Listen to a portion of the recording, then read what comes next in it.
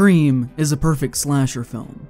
It is about the best that has ever been produced on a purely technical level. Was until 2018's Halloween, the highest grossing slasher film ever made, and has since its creation been the bar standard of the level of excellence on which this type of thing should, or at least could be done. If you somehow clicked on this and don't know what the Scream franchise is, they are essentially stylized Agatha Christie style whodunit murder mysteries. Every movie has a new ghost face killer, and we're introduced to a cast of characters mixed with some familiar faces that we already know, and then are asked which one did it. Which one of these people is the killer? There's a more violent flair to them than your typical run of the mill murder mysteries. They have more excitement geared towards action horror, but at the end of the day, their differences from something like Murder She Wrote is actually kind of minimal at best. With these films' base appeal being that we have a new killer hiding behind the mask, which will hopefully be a surprise to the audience once they're revealed. It's very Scooby Doo in formula.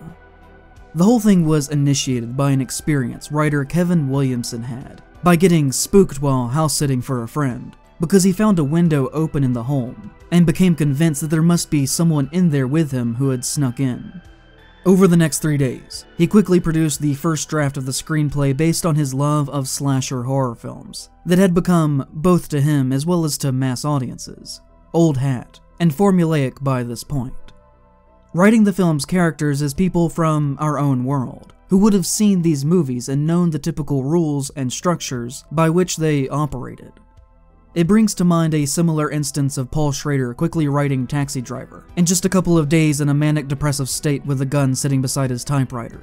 The quick energy that process produced for both of these films is tangible in their final products. And this relationship to both older and modern horror, specifically slasher films, both textually as well as historically, is, for better or worse, a key aspect of the franchise that would remain to present day. Something that starts off very fresh and unique, but over time would decay into empty echoes of repetition in theme, that spends a lot of time talking but never actually saying anything meaningful. But at least for this first entry, it served both as a commentary on horror and also changed what horror would be. They never stopped making them, but since 1984, the slasher film had become less and less of a financially viable subgenre for a multitude of reasons.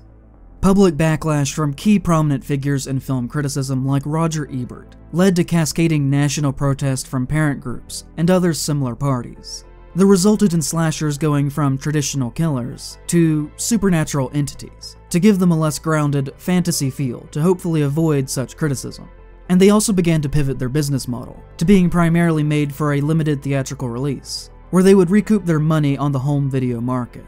All of these things resulted in horror having a VHS boom in the late 80s and 90s, that, while fun, was far from critically and culturally respected. And this is the contextual sandbox that Scream operates and plays in. At the time of writing this script, Williamson had essentially no industry clout whatsoever.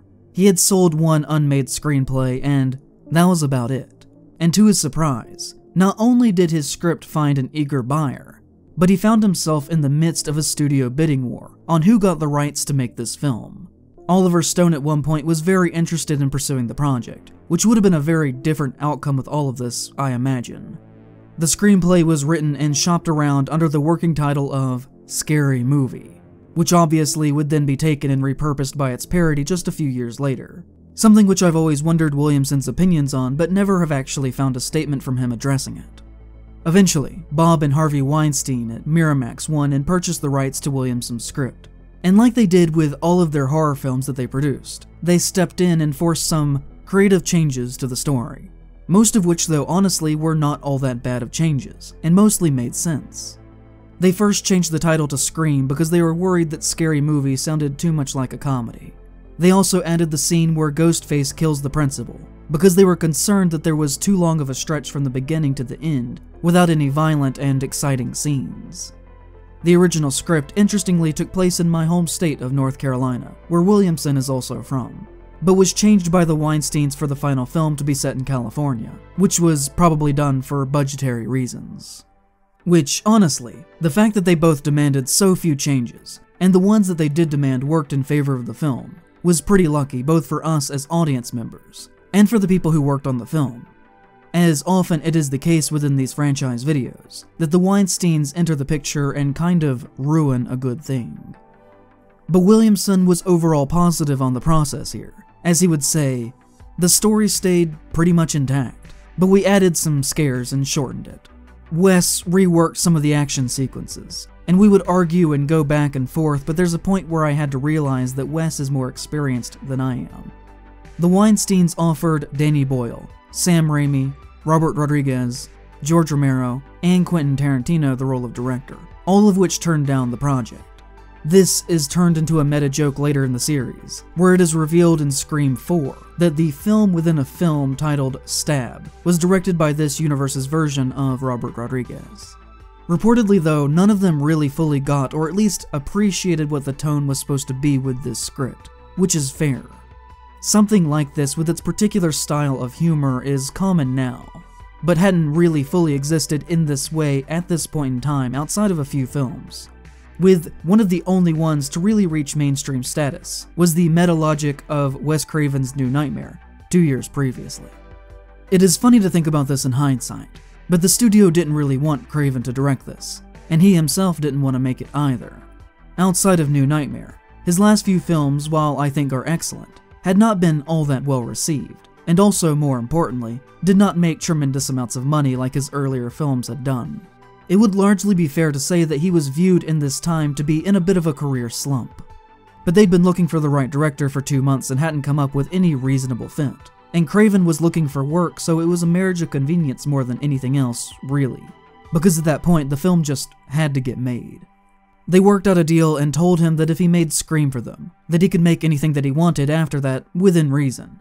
Which resulted in his only non horror work, the musical Meryl Streep film, Music of the Heart which was reviewed poorly and has been, since then, essentially forgotten. Which is honestly kind of a bummer, because he never wanted to be stuck being a horror guy within film despite his talents for it. And I kind of hate for him that he never got to have a second late in life art film career that he clearly wanted. You know, there's just those moments in time where two collaborators come together at just the right stages in their career to lift each other up in a way that the resulting art feels impossibly good to exist. Comparing other slashers to the first Scream would be almost unfair, and how perfect of a combination that Craven and Williamson had, at least in their first outing. Craven essentially had a massive place within three decades of horror filmmaking, from The Hills Have Eyes in the 70s, Nightmare on Elm Street in the 80s, and Scream in the 90s.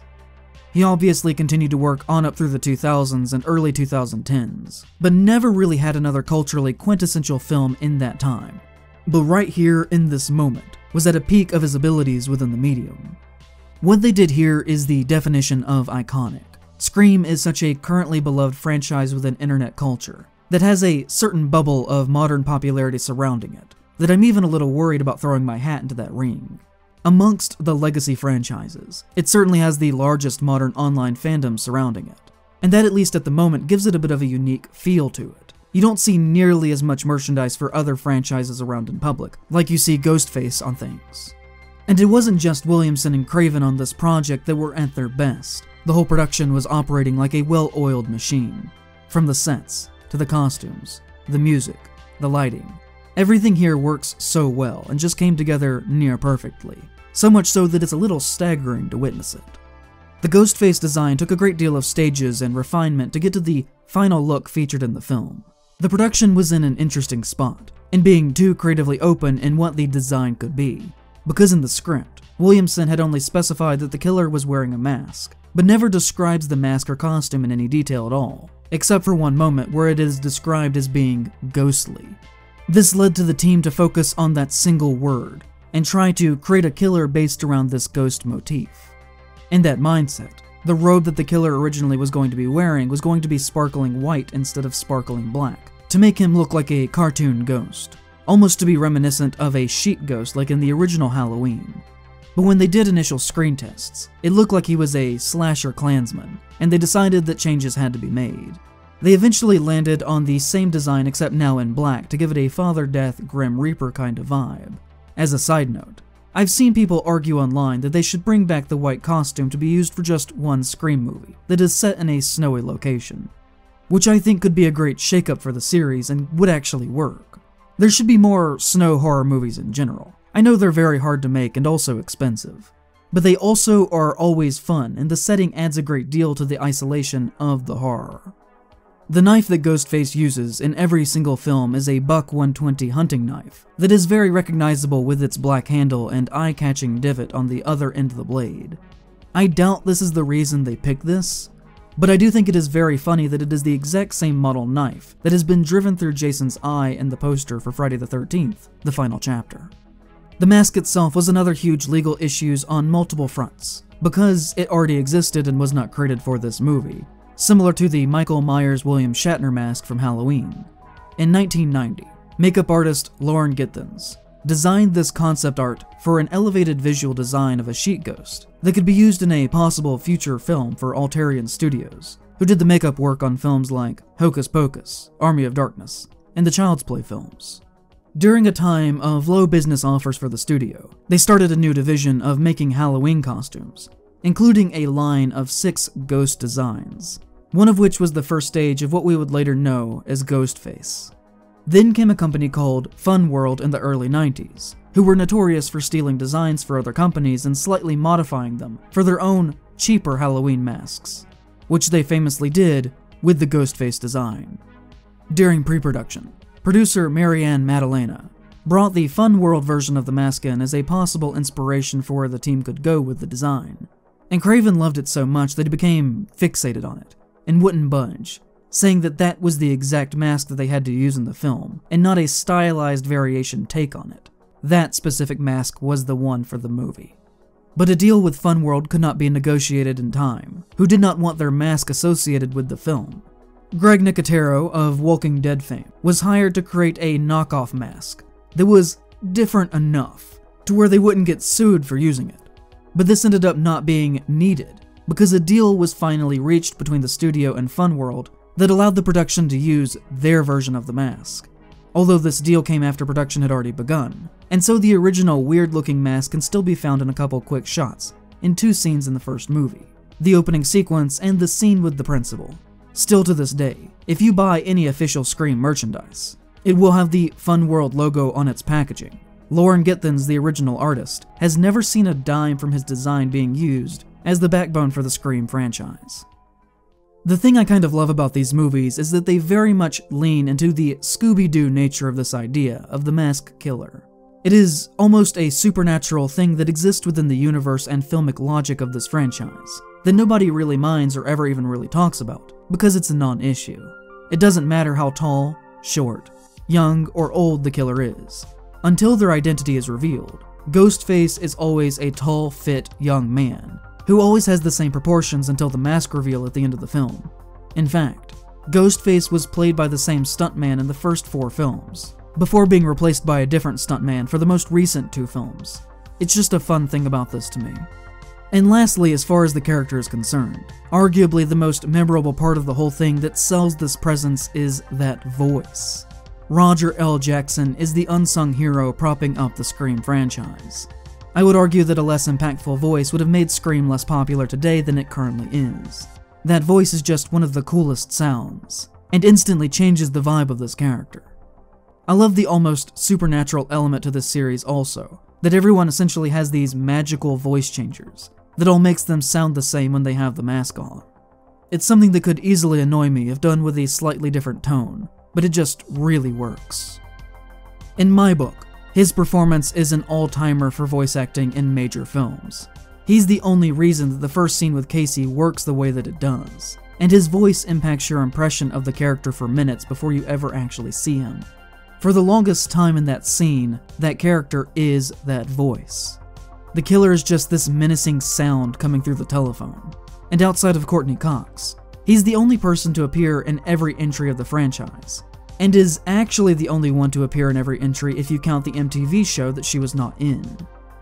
Also known as Powerpuff Girls Mojo Jojo, Jackson made this part his own, and the inflection that he puts on certain words makes it so memorable. And through that, he has become one of the most recognizable pieces of iconography associated with the series, and most people don't even know what he looks like.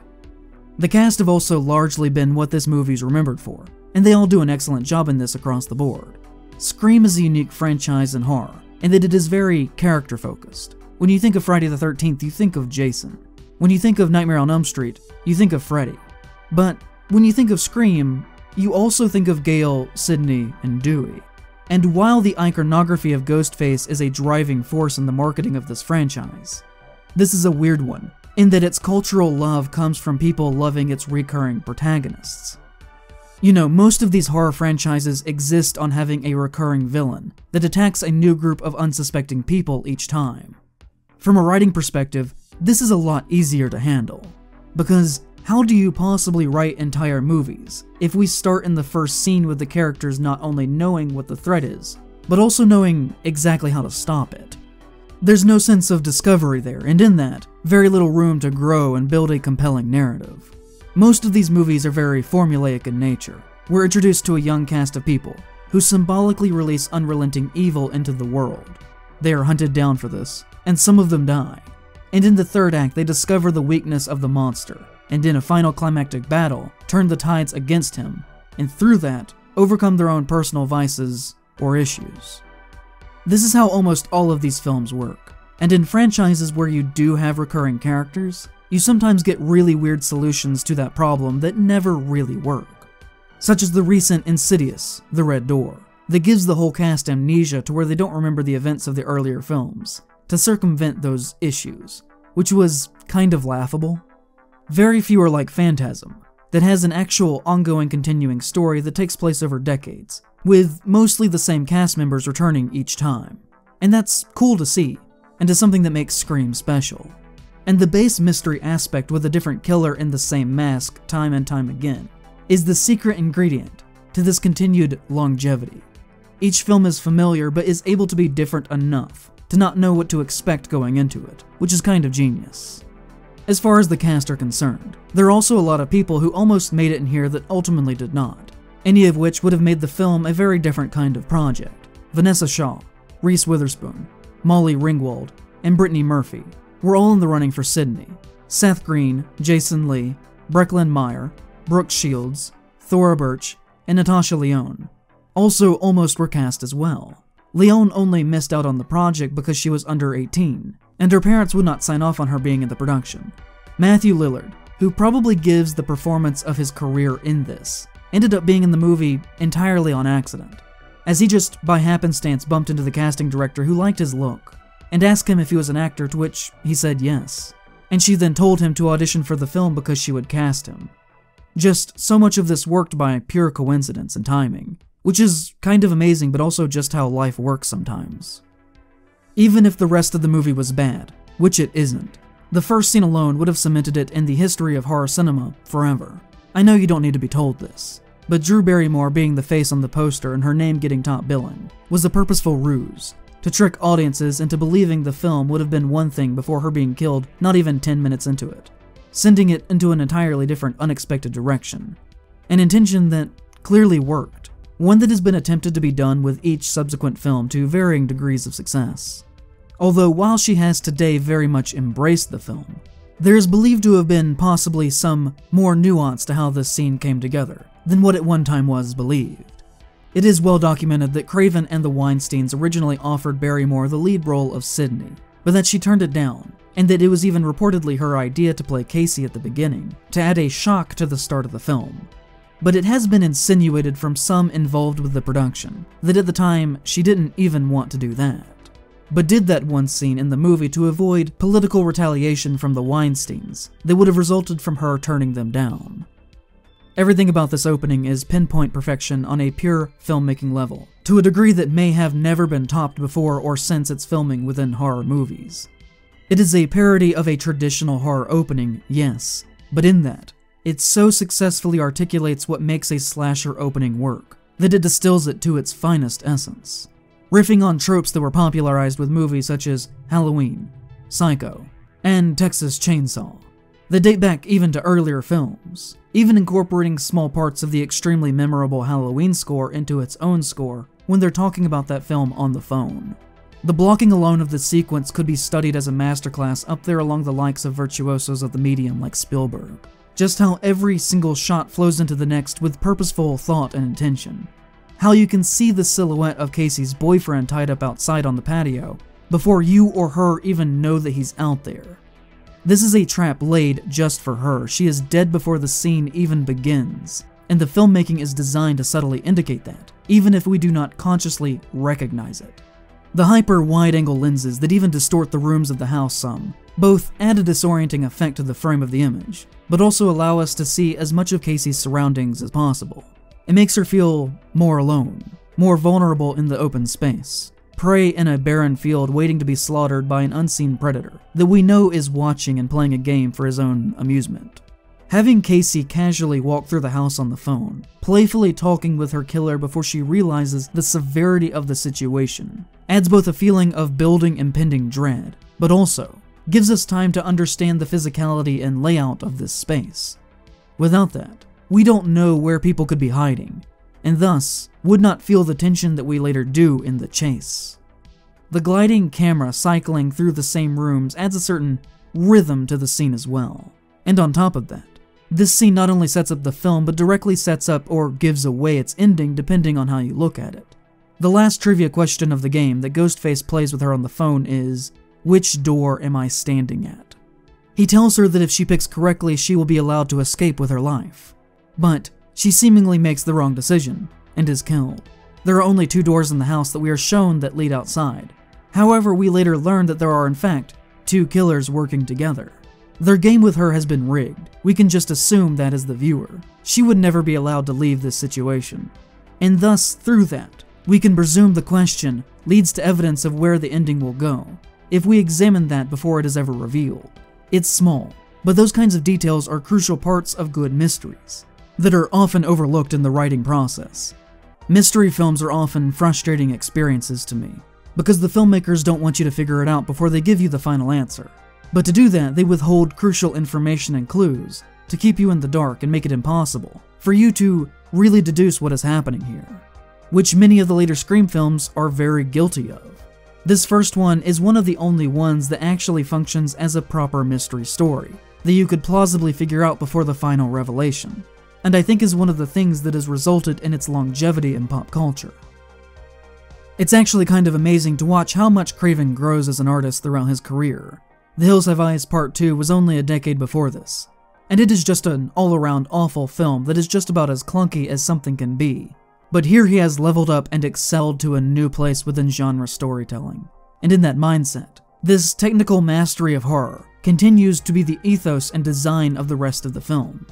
Something that is not often given as much credit as it deserves, in my opinion, is just how much of the early franchise under Craven's direction took place in the daytime.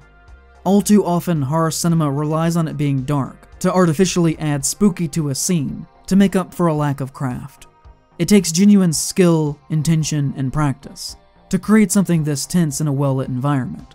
All you have to do is compare the Cenobite scenes in the original Hellraiser to their new, entirely shrouded in blackness outing last year, to see how much things have changed and how people are afraid of turning on the lights. You can't see a damn thing that is happening in that film most of the time, which frustrated me and made me not really enjoy it very much. A similar complaint has been very recently lodged against the new Pet Sematary film, and I think that Scream went out of its way to always have a bright color palette, which is something that should be commended. Even the few nighttime based scenes are luminous. There is never ambiguity as to what is happening in a shot, which is important, as this franchise clearly prides itself on its impeccable visual presentation. Scream, of course, is also, as we said, known for the meta elements that Williamson incorporated into the script. He said on the process of writing that original draft that, I thought if you could expose the rules and play with them, then the audience doesn't know what they're going to get. Suddenly they're on edge. I started playing with the tropes, and the rules were part of that. And this whole thing goes beyond the dialogue about scary movies. That is a given, as the killer Billy's obsession with horror movies permeates every aspect of this and dictates the tone of the film even his last name of Loomis being an extension of that, and is one of the only times I've not hated a referential name in a movie. But the filmmaking itself on Craven's part embraces those elements that Williamson started in his script. There's so many small jokes at play here, even down to little things like cutting from the principal being killed to a bunch of kids listening to Alice Cooper's School's Out for Summer, blaring from the radio. Jamie Kennedy playing Randy yelling, Turn around Jamie at Jamie Lee Curtis on the TV just as he's about to get attacked from behind. Sidney saying that she doesn't like horror movies because the female victims are dumb and always run upstairs when they're trying to get out of the house, only to moments later run in blind fear upstairs instead of going outside. A lot of little narrative things like that. But this is all largely written and done in relation to Halloween specifically. When Williamson was writing the script in those three days, he claims to have been frequently playing the score to Halloween in the background to put him in the right mental headspace. Within the film itself, the way that the camera glides through scenes is very much purposefully referencing how Carpenter did similar work in his movie. The wide angle lenses and frames may have even been a purposeful style decision to reference those movies because that wasn't something that Craven had engaged in much previously in his career up until this point, but is a mainstay hallmark of Carpenter's style.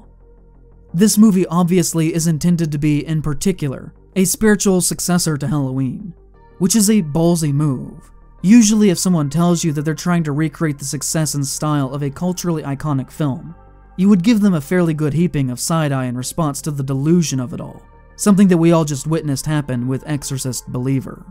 But at least in this instance, they pulled it off and did exactly what they set out to do. The small town having a curfew feels like the exact same setting as Haddonfield. The car from Halloween that Michael steals is even in the background of one shot. Casey's neighbors are named the Mackenzies, just like in that movie let alone the entire final sequence, essentially being a massive parody of the final act of Halloween.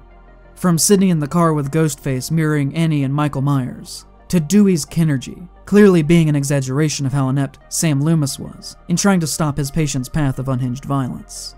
Which would make 2000's Scary Movie a parody of a parody, which I actually kind of love as a distillation of trope and genre.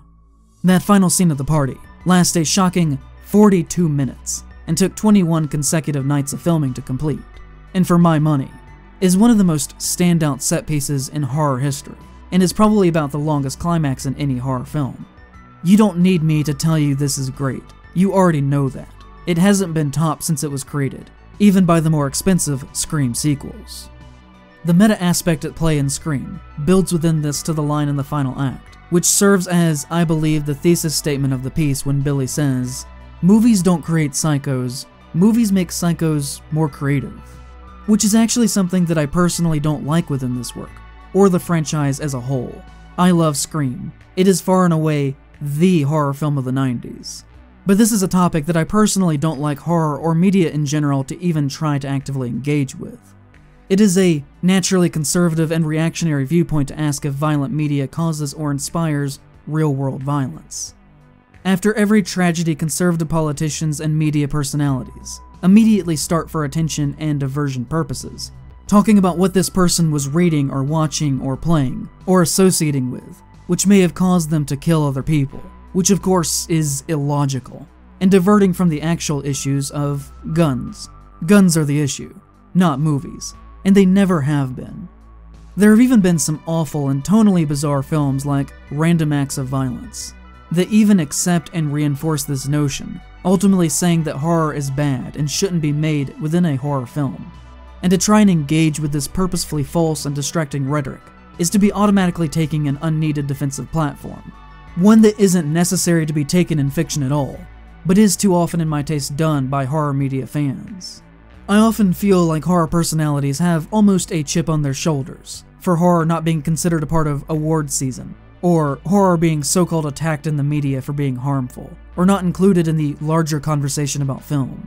Which, to me, is quite silly. It's getting worked up over nothing, a non issue. We shouldn't care. We shouldn't even acknowledge it, because nobody actually does this anymore. This isn't the early 1980s. We should only be reactive to actual credible threats to the status of the genre, such as the Congress legislation against comics in the 50s. Which, these types of threats haven't really actually existed for decades now in any credible way. Horror is fine. It doesn't need defending currently. It will still exist, and doesn't need tweets that don't actually do anything except create a false sense of morality battle that doesn't actually exist, and whose outcome doesn't matter. In reality, conservative grifters under no circumstances should ever be argued with, because they know more than anyone how fake and ludicrous their positions are. They don't believe in anything that they actually say. They never do. it is all said to deflect from their actual positions, which are much more evil and clandestine. That is part of the thing that makes them fascists. And to argue with them on their fake beliefs is to legitimize them, both as people and as a political ideology. And so for me personally, Scream falls apart in its final messaging at its end, because it is fighting a battle that is both fake and not needed to fight. A self imposed one over art and morality that hits my ears as someone shifting up their glasses and going, well, actually. It feels unnecessary to have this grand statement on culture, the state of horror at the end of all of this, and to a degree, stands in the way of the excellent set piece and story that they have been carefully building this whole time. But overall, it doesn't affect the film all that much. And the argument could be made that this line and plot direction works, as it is being spoken by a dumb teenager who thinks he's more deep than he actually is after all. But still, I found myself thinking about the intended purpose of this inclusion in Scream more than I have with just about anything else in it, which is not an amazing lasting memory for a film to leave its audience with. And for me, this uncomfortably seems to be a reoccurring theme that the series would like to explore time and time again but never really has the ability to grapple with it in any meaningful way that is fully worth our time. And should have been abandoned after the first entry. And honestly, just shouldn't have been in that one either. This relationship between fictional violence and real violence. In the sequel the following year, it is essentially the main thematic throughline. There's the whole aspect of Sidney receiving prank calls from people pretending to be Ghostface, because they're inspired to torment her from watching the film adaptation of her life called Stab. We Watch as a Film class debates the merits of Stab as a work of art, and on if horror fiction has real world impacts beyond basic commerce. And it all comes across as freshman philosophy 101. I mean, that whole film is essentially about someone wanting to recreate the events of the movie in real life. One of the most overt points in this comes in the opening scene, when Jada Pinkett Smith is being actually killed in the theater that is screening Stab. And we are intercut with images of crazed horror fanatic audience members, celebrating and imitating the killing of Heather Graham that they're watching on their screen. It's a great scene, one of the best in the series. But what is it trying to say? Does this actually want to communicate anything to us? The real audience in the real world? To realistically say that this is your position, and that you think that horror cinema is an overly harmful thing to the people who view it, would be to say that you too have blood on your hands from producing horror. It's a half baked message. It's a question that they don't actually want to answer, want the answer to, or really even be bothered with the ramifications of, that is repeated too often throughout the series, and in horror itself, for no overt purpose except for thematically attempting to connect with the ideas of the first film.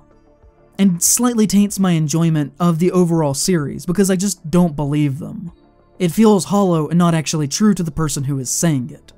The whole franchise below the surface to me reads as being completely ideologically incoherent. The least interesting thing that a work of horror can ask is if its own existence is harmful. And we should just move beyond this as a genre. We don't need it anymore.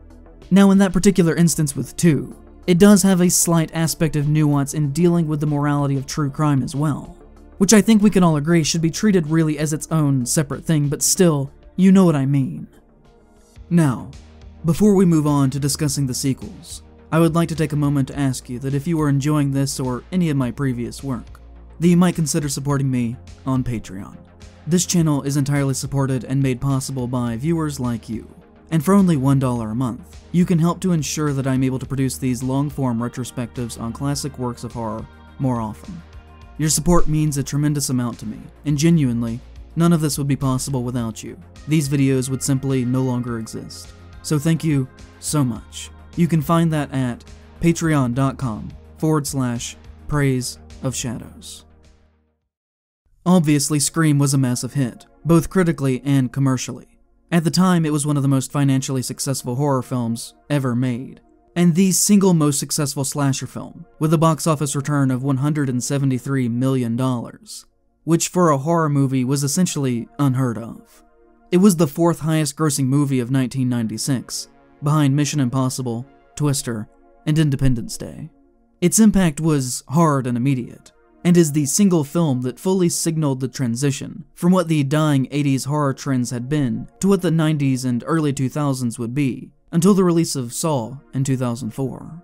There's a definitive line in film history before and after Scream, and for better or worse, A sequel was rushed into production and landed in theaters just under a year after the first film's release. Multiple different titles were considered on what this project should be called, ranging from Scream, the sequel, Scream Again, and Scream Louder, before simply being titled Scream 2. As part of the deal with the first script, Williamson also delivered at the time two different five page outlines on where potential Scream sequels could go, one of which was the basis of this script, which Williamson was hired to quickly write. But this process was longer than they had hoped for, and unfortunately, the Weinsteins made the decision to go ahead and begin filming before this draft had even been completed. Based on the success and overwhelming popularity of the first film, the studio actually was worried about leaks online, and made Williamson write three different final acts of the movie, two fake ones, and one real one that would only be given to the smallest circle of the most trusted, need to know people. And their fears ended up being justified, as one of the fake endings, as well as the first full two acts, did wind up on the internet before the film's release in December of 1997. Some speculate that the ending that leaked online was actually intended to be the real ending, but who is to say? All that is really known is the result of this, which was that Williamson seemingly in very little time had to draft a completely new script with a fourth ending that became the real one that was used in the movie, that had already filmed some sequences, and was actively filming additional sequences unscripted. As you can imagine, this created an extremely chaotic tone to the shoot that fueled resentment and distrust among the cast and crew. Scream 2, because of this, is considered to be the first film to actually have real world effects on its production, because of the existence of the internet. Craven, who was also brought back to direct the sequel, was reportedly quite frustrated by all of this, justifiably.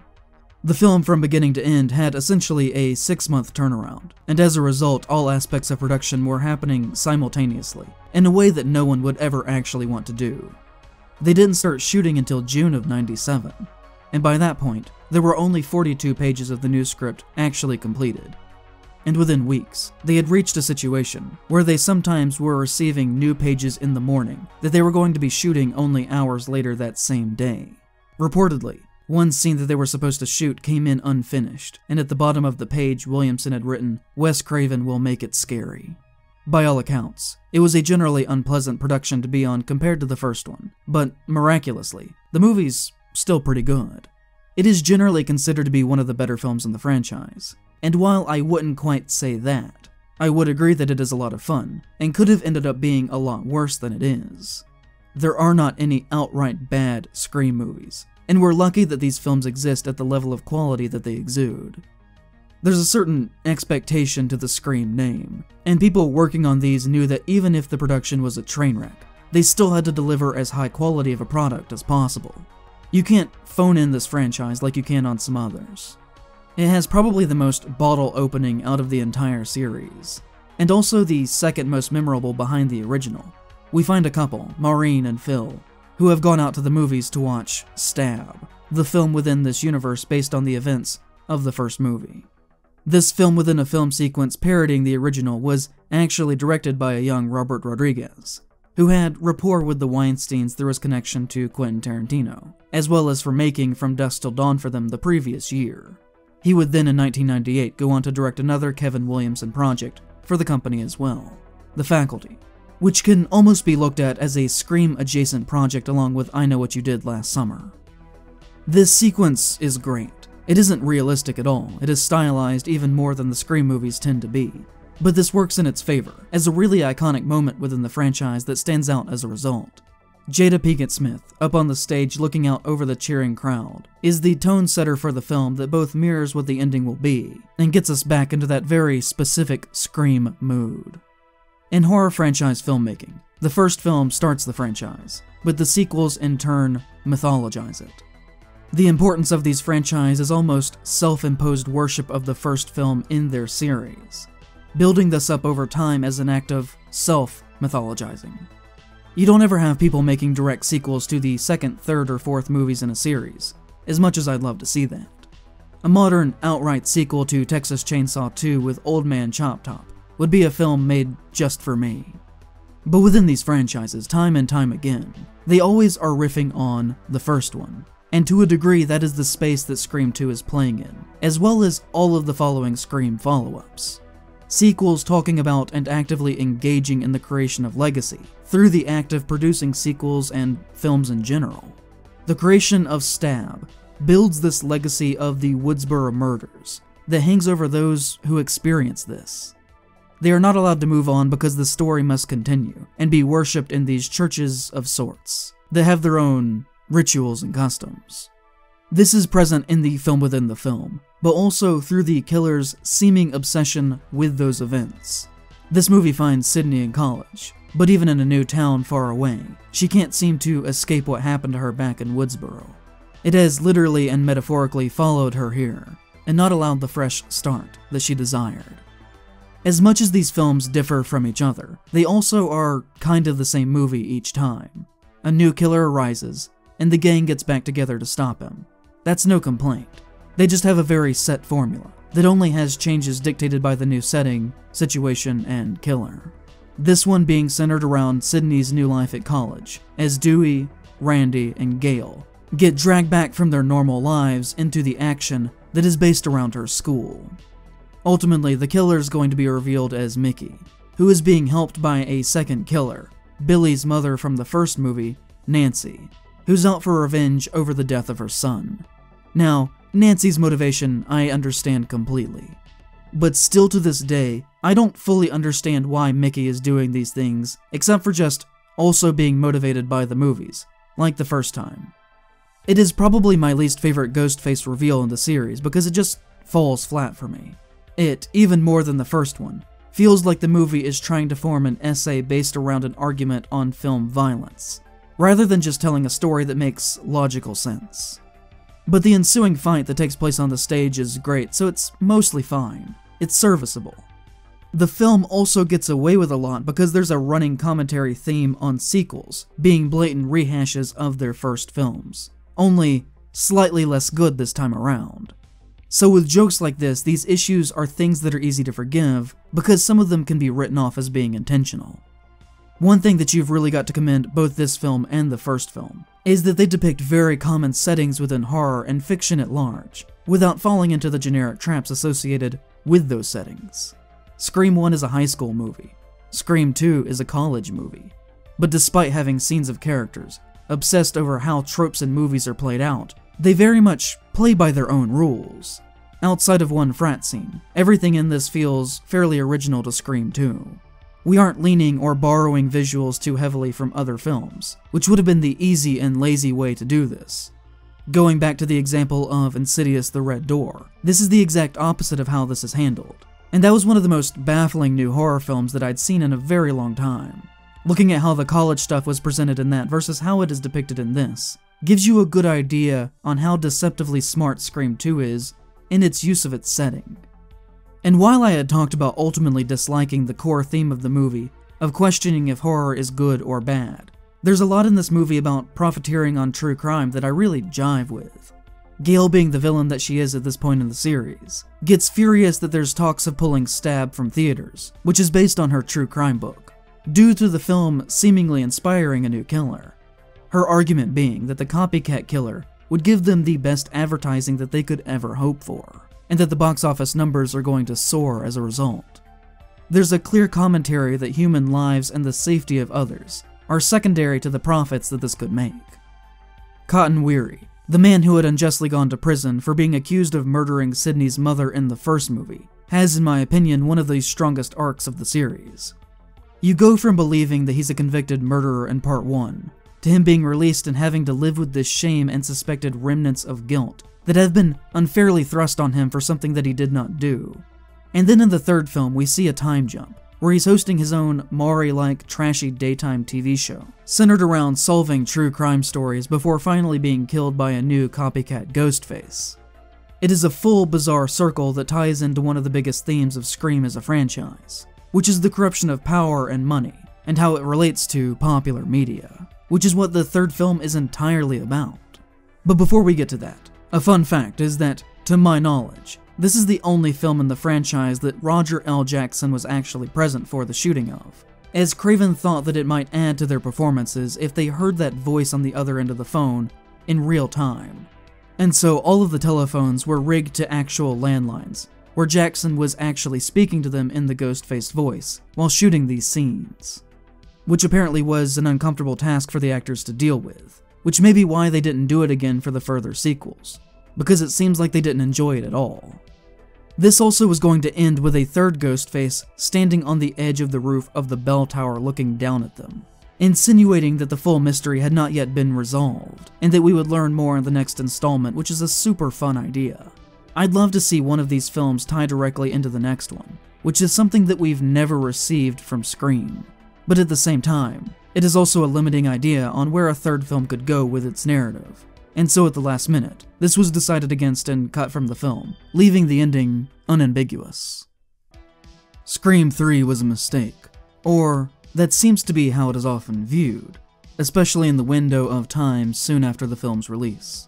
The common consensus is that it should not have been made, or at least not under the conditions that the studio set for itself, and is kind of seen as the black sheep of the family, at least within the original trilogy. A spot that would later be more filled with Scream 4. It has been argued that 3 inadvertently killed Scream for a time. You can argue that this was the planned ending of it being a trilogy all you want. The film even says that. But money talks. And if this had been better received or made significantly more money, then there almost certainly would have been a new Scream film sooner than we had gotten one. Coming in 2000, just two years after Part 2, they felt an almost self-imposed pressure on what kind of content they could or could not get away with in a post-Columbine world. At one point, they even internally debated making the film PG-13, abandoning the majority of the slasher basis of the series, and having all of the violence happen off-screen leaning more into the murder mystery aspect of the series, something which Craven lobbied against and eventually won, saying that if they were going to make a proposed Scream sequel, then they should make a real Scream sequel and be true to the brand. But the planned script that they had intended to go with was scrapped and entirely reworked into something less intense, even changing the identity of the final killer, as it was originally intended for Matthew Lillard to come back to enact his revenge, revealing that he had survived his incident with the TV set, which would have been a nice way to round out the trilogy. Something that would have been much better than what we got, and is still teased within the franchise today. The most recent Scream 6 had a joke related to this, and even a final payoff with one of the Ghostface killers of the movie getting finished off by having the same television dropped on their head. Lillard's return would have been welcome to see, but you can imagine why they must have felt like this had to be done to distance themselves from Columbine. Because, admittedly, Stu Macher and Billy Loomis do share some similarities with Eric Harris and Dylan Klebold, despite the film coming out three years before that incident. The other thing against this film going into it is that Williamson had become quite popular as a screenwriter within Hollywood by this point in time, based on the popularity of Scream and his other similar projects and he actually backed out of the sequel to focus on other works, leaving them 20 pages of notes of where the series could go in the future. Funny enough, the new writer that they brought in to replace him was named Ehren Kruger, which, you know, is very funny considering the Craven connection. I don't particularly like Kruger's writing style. I've really only enjoyed two films that he's worked on as a writer, which were The Ring and Top Gun Maverick.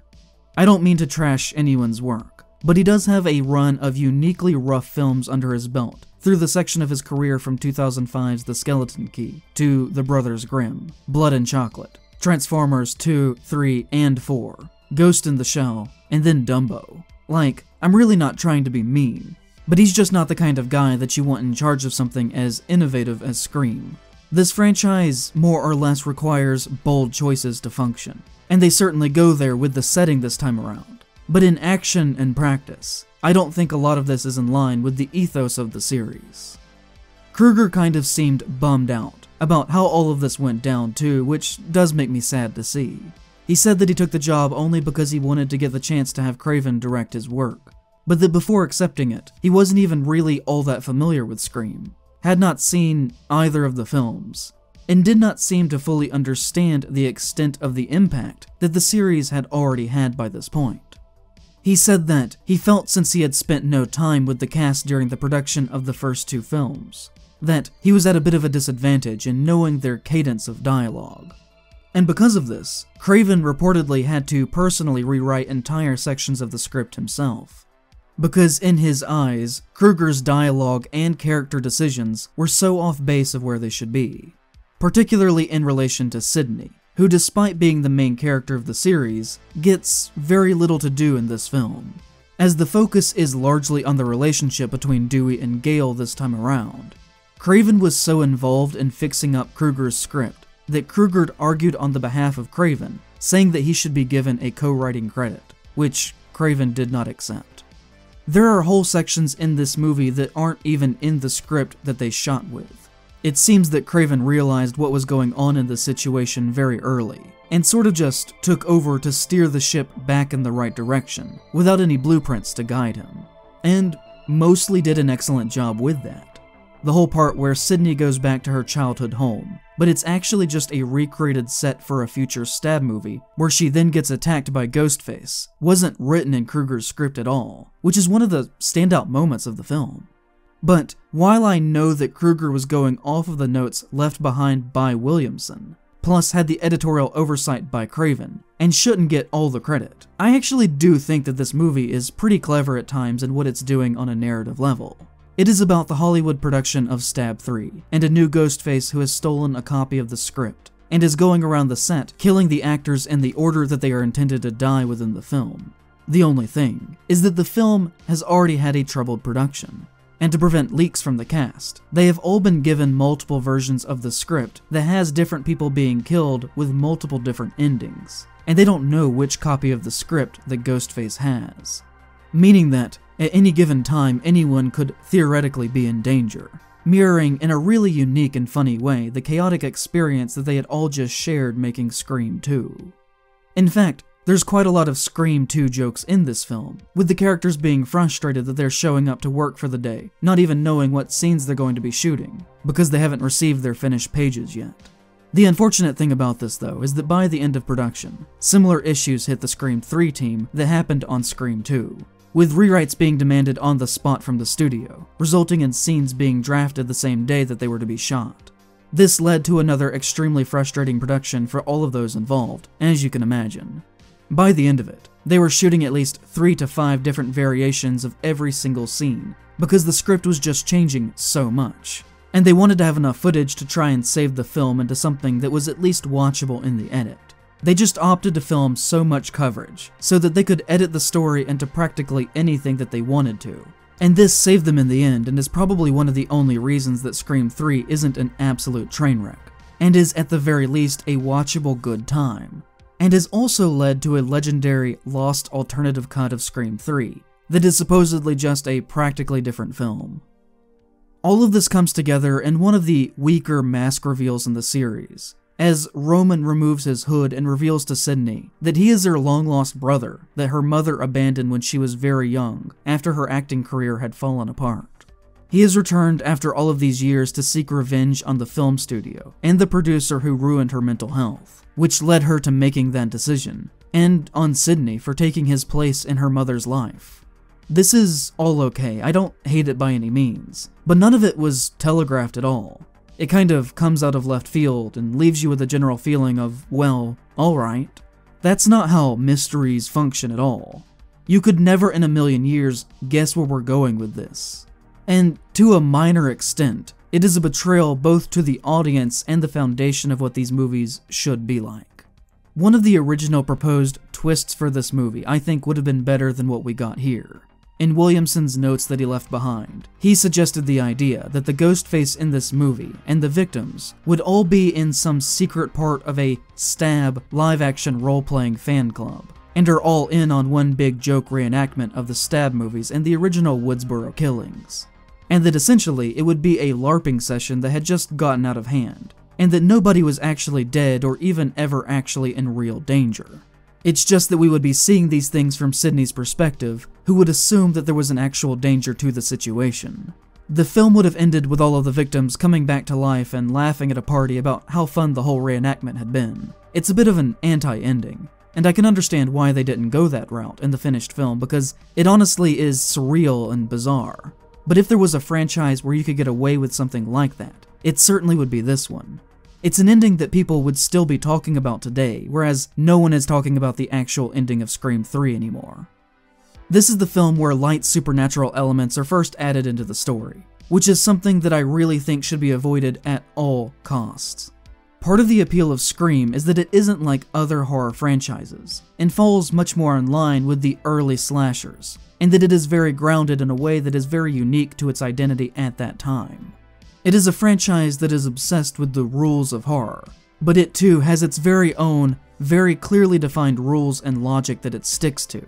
And elaborate dream sequences don't really add to the atmosphere as much as it takes away. We also have a universe breaking appearance of Jay and Silent Bob here, who are taking a tour on the studio lot, which makes zero sense and is jarring to a degree that I just really hate its inclusion here. It isn't fully awful in this one, but things like this introduce a slippery slope. And by the time we get to 5 and 6, we have really bad scenes with Sam having full on hallucination conversations with the ghost of her dead father, Billy, from the first film. Everything like this should be avoided in this universe to me. There are so many horror films where you can easily play with those ideas if you want to, but from my perspective, Scream is fun in how it is limited to the bounds of our real physical universe, where people are easily hurt and clumsy. I don't want people to think that I hate this one either though, far from it. Just because I have a lot of criticisms doesn't mean that it is a bad movie. As I said, there's never really been an actual bad Scream film, and by and large, it is essentially the most consistently well-produced, long-running horror film series. There really isn't anything quite like it, and I think that should be celebrated.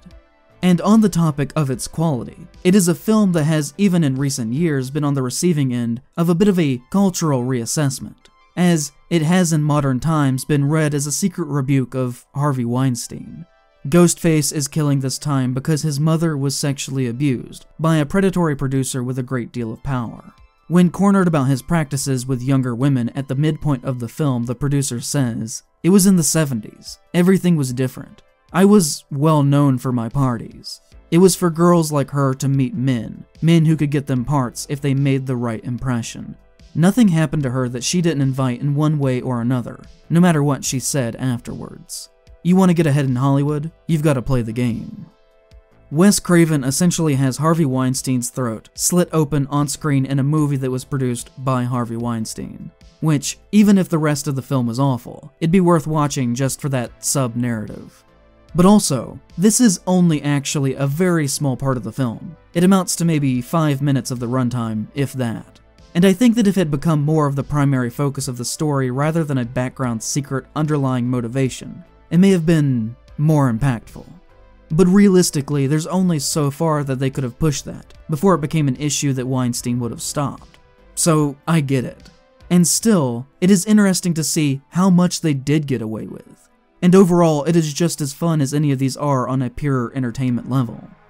And this movie is very entertaining. It is one of the best in the series in that department.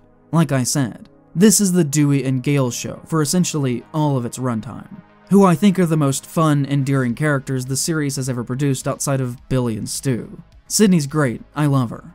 But most main characters are more of a blank slate to project your own identity onto, whereas side characters often are allowed to have more personality to their motivations and mannerisms, because that's less of an issue there. But it is their movie through and through. Honestly, Sidney doesn't even need to be here, because aside from a couple of scenes, she's mostly just sitting around for most of the movie, waiting for the final conflict in the third act to start up. She's a character who really is charismatic, but weirdly the film just dies every time we cut back to her in this one, which is a real shame. For me, this is where this couple really begins to have a fun dynamic that would carry the franchise for essentially three movies. Their relationship buds in part 2, but by the beginning of 3 they've already broken up, and are forced by circumstance into working together on this case and then they're married in four, and then separated again in five. Like Tom Cruise alternating long and short hair for the Mission Impossible movies. I love to watch her subtle character changes as these go on. Dewey's sweetness really changes her character for the better, and brings out her base humanity, which has been buried through her desire for fame and money in the first two films. There's a definite attempt at an arc that I really appreciate. We watch her go from a bloodthirsty true crime capitalist which never fully goes away, but she does over time slowly learn the impact of her own actions. And we watch her actually become a caring person, who even hugs Sidney when she sees her at the police station, something which even catches Sidney off guard. That change is the emotional theme that Part 3 is built off of. And without that, and the film set of Stab setting, this would have been a much worse film, so I'm really glad they decided to include those elements here. Sadly, the film received poor reviews, with the most common ones saying that the trick had been played out by this point, and everyone had gotten it. What was once fresh was now no longer, and the series had devolved into becoming the very films parodied in the original Scream. And many felt that the magic that brought the first film together, which could still be felt in the second outing, was missing in this one. And for a time, that was the end of Scream, as it seemed the series had culturally fizzled out. It wouldn't be for another 11 years before we would receive Scream 4, which is almost seen as the middle bridge period between the two trilogies of the series. But it would be only 8 years before the film was announced, meaning that it was in various stages of development for 3 years, which I'm fairly certain is the longest in the franchise. The Weinstein Company announced that Scream 4 would be happening in July of 2008 but their announcement was vague to say the least, implying that Craven nor Williamson would be returning, and also that the film was going to be a total reboot and not feature the original cast from the first trilogy. When asked about this, Craven said that he would be willing to come back and make their new Scream movie for them, so long that it was agreed upon in advance, that the script would be up to the same level as the first one had been, and that they would have the completed script locked down before production ever began, to avoid what happened on parts 2 and 3. In early 2010, it was announced that Craven would indeed be returning to direct the fourth film in the series, and that it would again be written by Williamson, on his break in between seasons of his CW show, The Vampire Diaries. In usual fashion, there were a great deal of changes mandated by the Weinsteins. In the original script, Gale and Dewey had a baby together. This was cut to decrease the budget needed for an on-set baby. There was originally a two year time jump in the middle of the film, where Sidney would be left dead by this film's Ghostface and then survive, only to recover from her wounds slowly and then come back for revenge. This was cut to make the film feel faster and more cohesive. The minor roles of Chloe and Rachel, played by Kristen Bell and Anna Paquin, were originally written for Paris Hilton and Lindsay Lohan, but this idea was also scrapped for budgetary reasons. They also controversially changed the ending of the film from the original script, as this essentially got the same treatment that Exorcist 3 had. They added an entire extra climax to the end of the story to remove any ambiguity. You see, Jill, this film's Ghostface, was originally to be taken in an ambulance at the end of the film after seemingly killing off our main cast, including Sidney. But the twist would be that Sidney would survive, and when she would wake up, she'd no longer remember who was under the Ghostface mask with a follow up film being one built off of dramatic irony, in that we know who Ghostface is, but she does not. Rumor has it that Williamson was so upset over this mandated change in the ending that it eventually was what led him to leaving the film and the franchise permanently, being replaced by Scream 3's Kruger. When asked about this, Craven said, Look, I signed up to do a script by Kevin, and unfortunately that didn't go all the way through the shooting but it certainly is Kevin's script and concepts and characters and themes. But despite Williamson leaving, this was the most smooth production of the franchise since the first outing. Hayden Panettiere was frustrated by the changes that happened to her character during this script shuffling, and reportedly almost quit the project, but ultimately stayed on and remains an important player in the franchise. The Weinsteins did ask for a week of reshoots to tighten up two scenes that they felt were kind of weak. But outside of that, this was the first time that everything had gone as intended, more or less.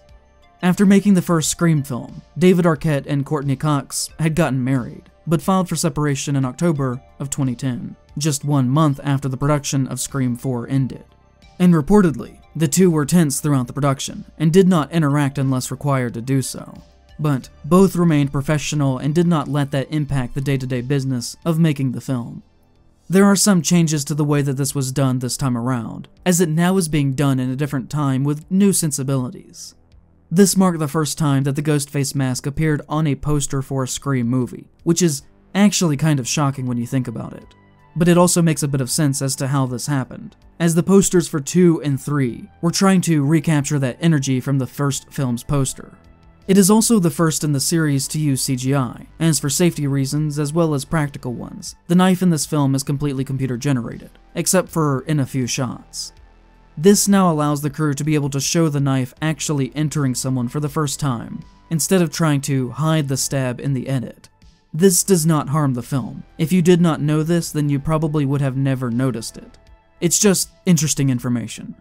It also is the only film in the series to not feature the song Red Right Hand by Nick Cave. Which is a bit of a shame, as I think it's a fun addition to see when and where and how the song will appear in each movie.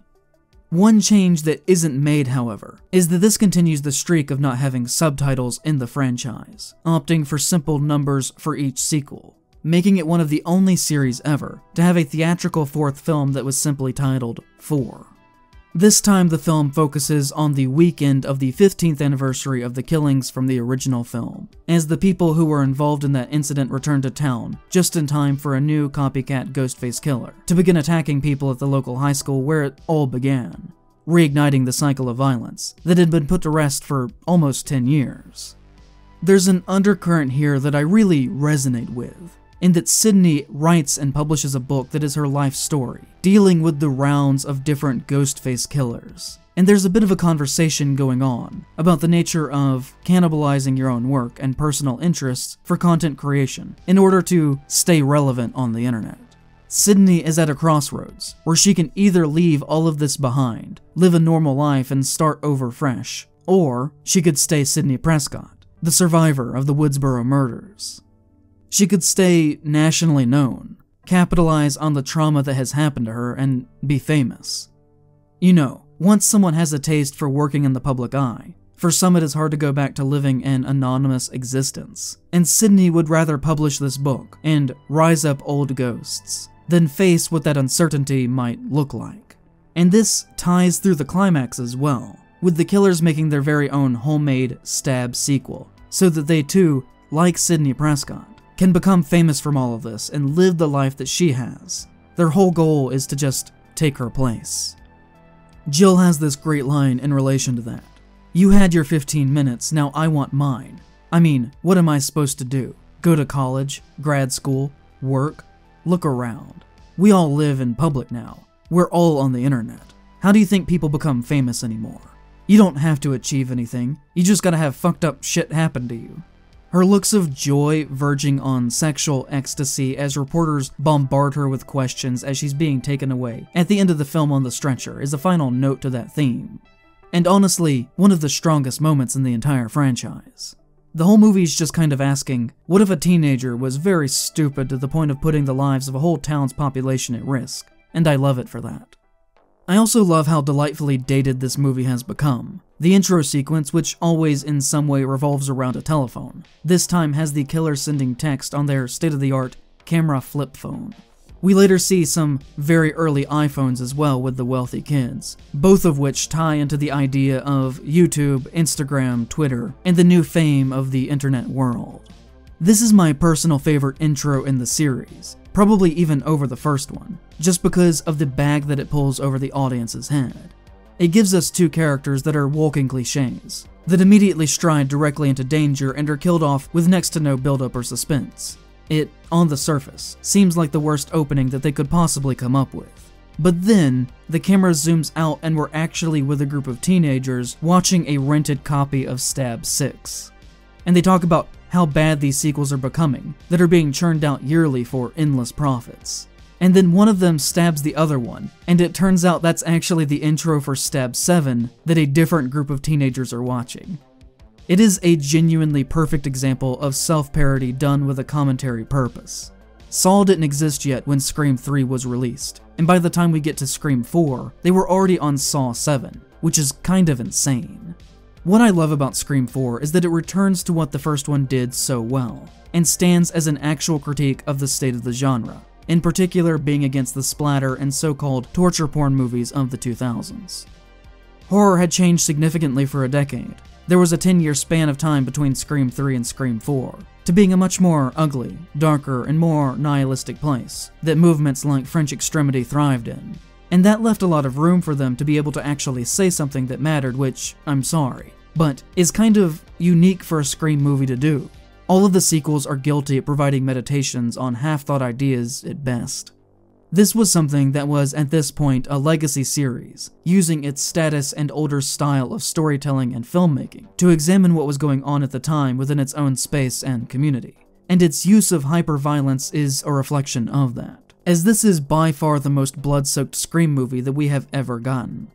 Ghostface on the phone is also the most vulgar that he has ever been, at one point telling Sidney that he's going to slice off her eyelids so that she can't close them, and will be forced to watch him do the things that he has planned for her.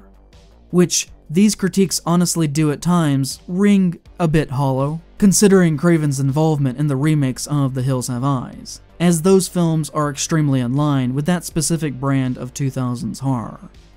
But the less I ever say on The Hills Have Eyes again, the better.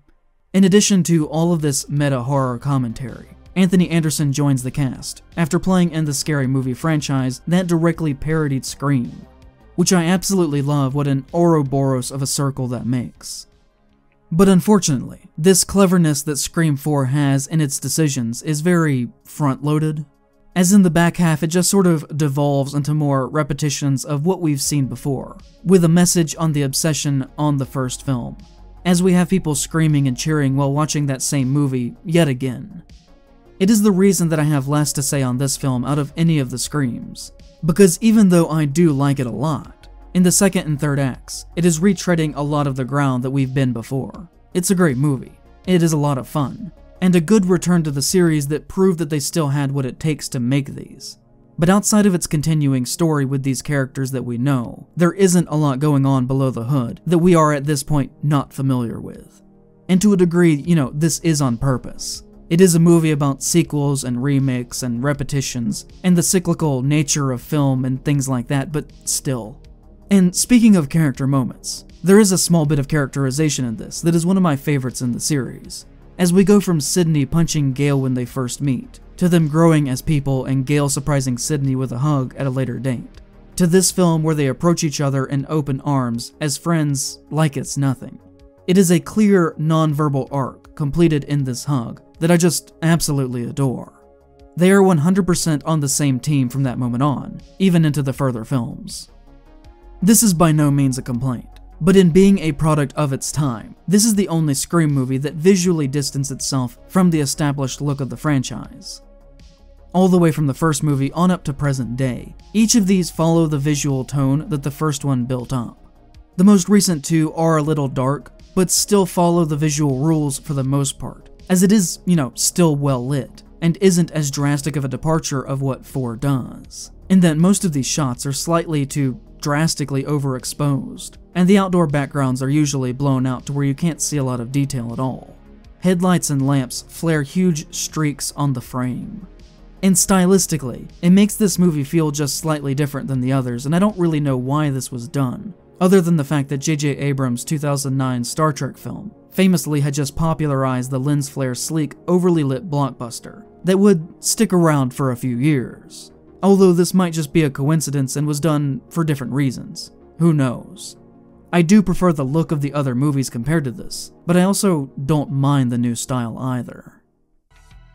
As part of his contract with the making of Scream 4, the option was on the table to make 5 and 6 as a new trilogy if that movie had done well at the box office, which it sadly did not do the numbers that they had hoped for.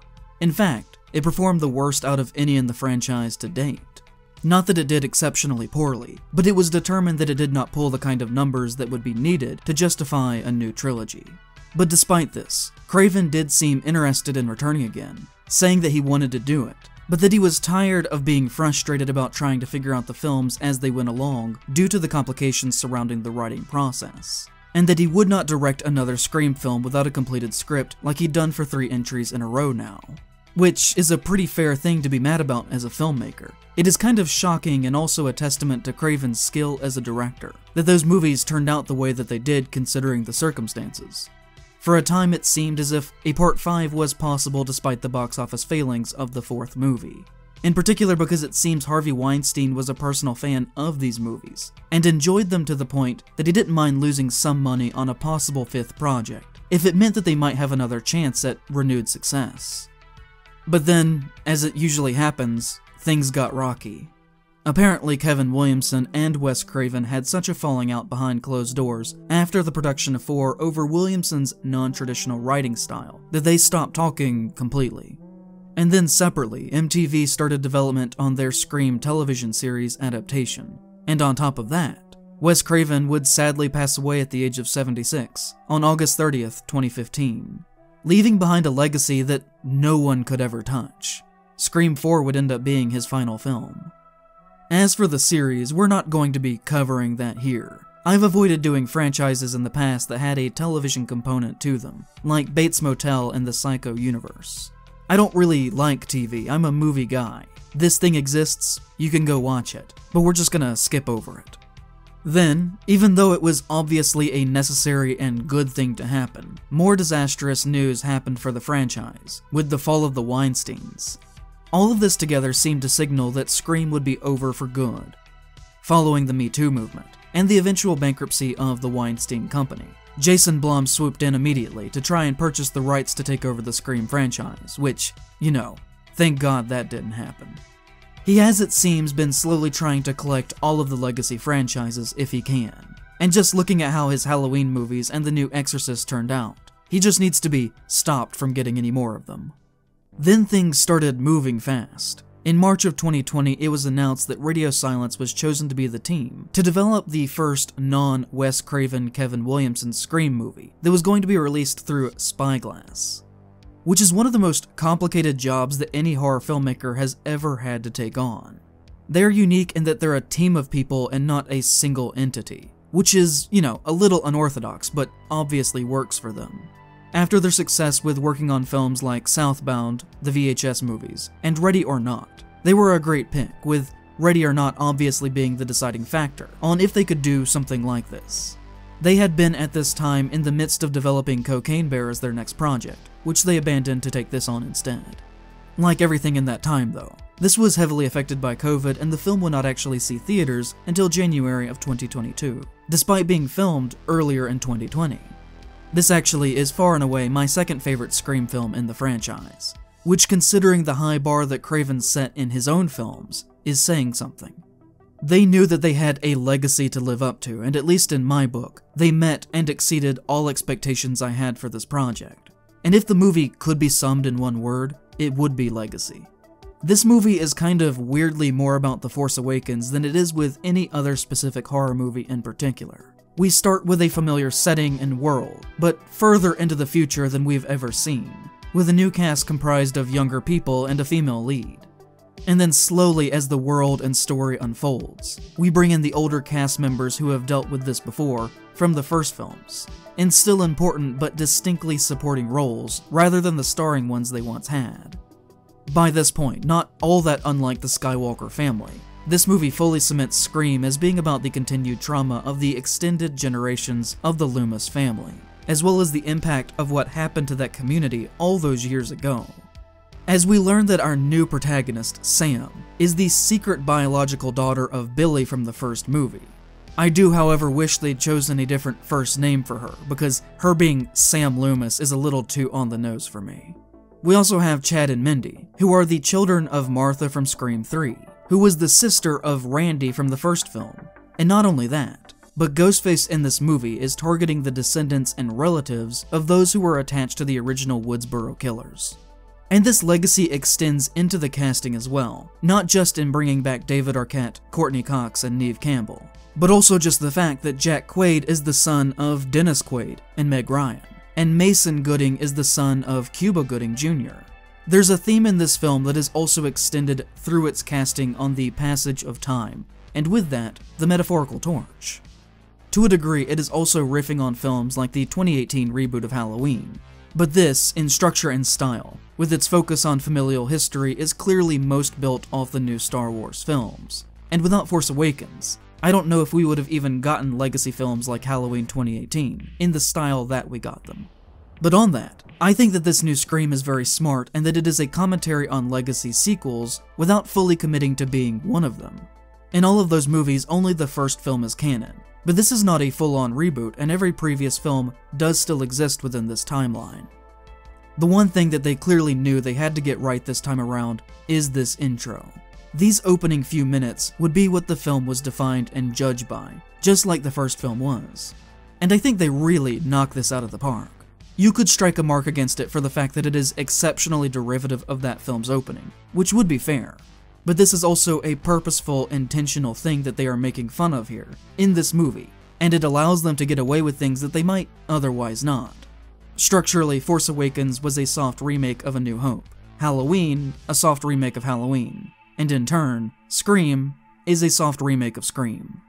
So a lot of what this movie is doing should be considered as parody that mostly averts any criticisms I would normally have. And just the filmmaking here is really suspenseful and strong. Like, it is a bit daring to try and throw your hat into the ring with one of the most famous scenes in horror film history, and then not only come out alive, but pull it off decently well. It's not better, but they didn't embarrass themselves either. So many little moments where a camera goes around a corner, or a cabinet is shut where you expect Ghostface may be hiding, but then he isn't. They use this same technique later in the film when Wes is casually walking around the house, unaware of what's going on while the music swells to great effect.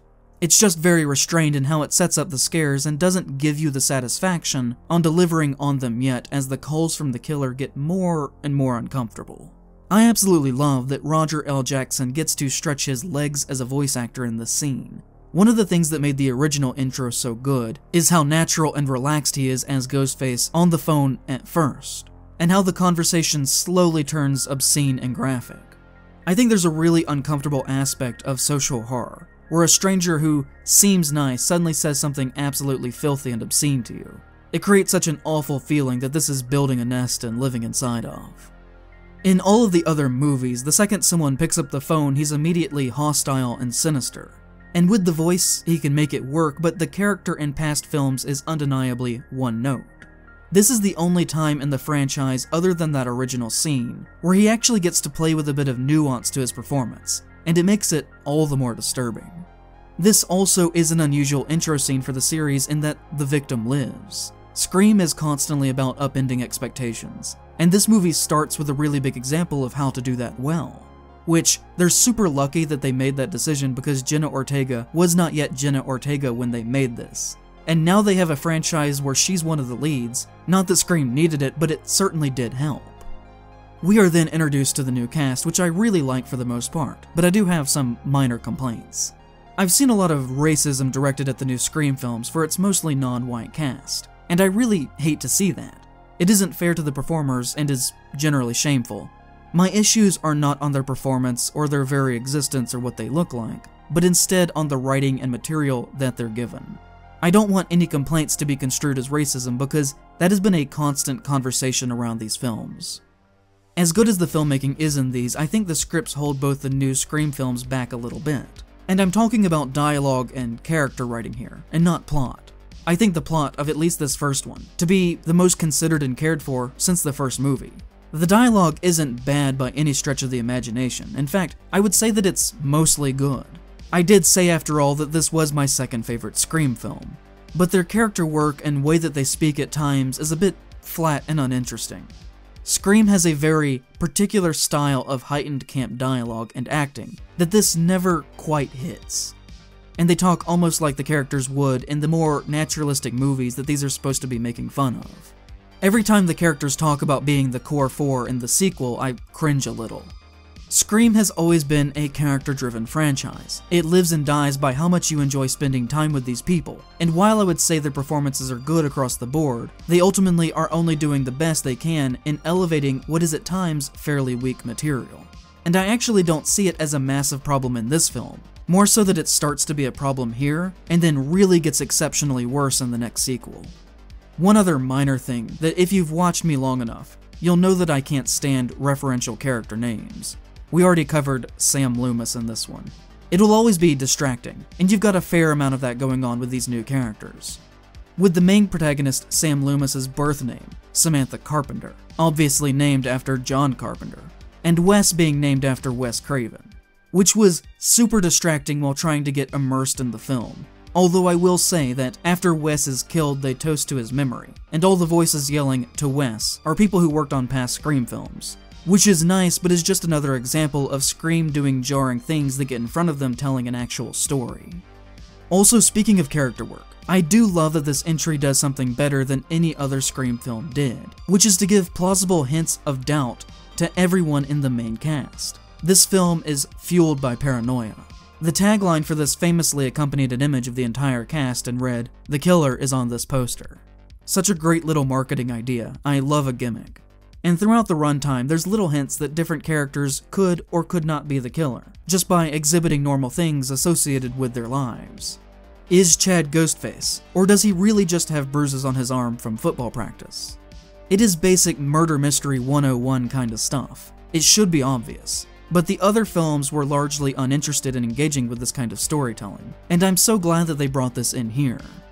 The fact that it is a half reboot helps with this as well though, as it allows them space to play in because we are thrown into a very unfamiliar cast of people. Also, I love that we get scenes where both of our Ghostface killers are in danger, a ruse to get the others in the film off their scent, as well as us as the audience. In the other films except for the first one, the mask reveal kind of comes out of left field. It happens and for a moment you're left with this feeling of, alright, I guess it can be them, sure. But in this one, it is genuinely exciting because you have theories while watching it. The writers give you actual clues and red herrings to follow, and willingly want you to actively mentally participate in this game that they're building for you. The Scream movies are actually kind of difficult for me to write about at length, because they are so plot driven. I don't really like talking about the events of a story within a review if I can help it, as I think going beat by beat through what happens on screen is bad criticism, and kind of boring for both me and for you. But sometimes you hit these pieces of popcorn media that offers the most substance in their plot, and that is hard to reckon with critically. This starts to play out as you would expect. People start to die off, and our primary group of teenagers band together to try and figure out just what's happening here, getting paired up with our old protagonist along the way. I know that Mindy, the horror film fanatic niece of Randy from the first film, is supposed to be a bit annoying on purpose, and in that fills the same role that he did in that movie, but as a character I think she works a lot less than he did. As these go along, the scenes where they talk about horror movie tropes and how that relates to what's happening to them becomes less and less necessary and eye-roll inducing. Because the first one did it, every subsequent Scream movie feels as if they too need a sermon on the state of horror movies, slapped haphazardly into the middle of the script. And I would argue that not only do these movies not need this, but also that they never really did. It feels organic in the first one, purposeful, but is handled super clunky in pretty much all of the rest of them, including this one. And I kind of hope that future Scream titles just decide to drop this aspect, unless there's a genuine organic reason to include it, because at this point, we get it. And we don't really need to hear it again, unless they do something really creative. Like, for instance, having a whole film take place at a horror convention that is celebrating the Stab films. I also think this could have been done a bit more clever instead of just rehashing the first one. As a result of the original Scream, so many popular movies within horror no longer play by the same rules that they used to, and they could have dived into that a bit more. It's a thing that's kind of defined a subset of this recent era of horror cinema, but outside of a single joke about the witch in the opening of the film, and a few half-hearted mentions of elevated horror, this doesn't really engage with that kind of conversation all that much, which is kind of a shock because the jokes really should write themselves here. They weirdly also include Jordan Peele in this when they're talking about elevated horror, whom I've always seen as a bit of a more blockbuster horror kind of guy. I've never really heard him mentioned in association with those kinds of pieces, and at least to me almost signals a misunderstanding of what people meant when they used to say elevated horror, or maybe I never fully understood it. As the term was to my ears, used for much cheaper and slower art house style films than he makes. To me, I always thought when people said that, they were talking about things like Beyond the Black Rainbow, The Witch, We're All Going to the World's Fair, Skinamarink, and Under the Skin. I know Nope wasn't out yet, but Us certainly was, and that movie cost $20 million. I think if they had to include a bit about horror movies because it is Scream, then it was a bit of a missed opportunity to not explore this as I do think that there was a way to examine the discussions happening in modern genre spaces that this misses the mark on pretty exceptionally. But at the same time, I don't entirely mind this scene too much. It is a little goofy, sure, but also, a cornerstone of the franchise has always been teenage cringe. There's nothing here that is actually worse than Billy's speech in the first film, about how his relationship with Sidney used to be NC-17, but lately had felt like it was censored for TV. And luckily, it is only one quick scene, and not a pervasive ghost that lingers over the whole film. Ghostface and the kills themselves in this are great. I absolutely love the shade of red used for the blood in this daylight scene, when Martha is killed. That whole sequence where she is baited into going home because she believes her son to be in danger is malicious and fantastic. The CGI knife returns here again in this and is honestly really good. It makes the kill scenes feel so much more intimate and personal in a really horrible way. The particular level of violence is a new feeling to Scream that really wasn't in the original three, but it works within the context of the film.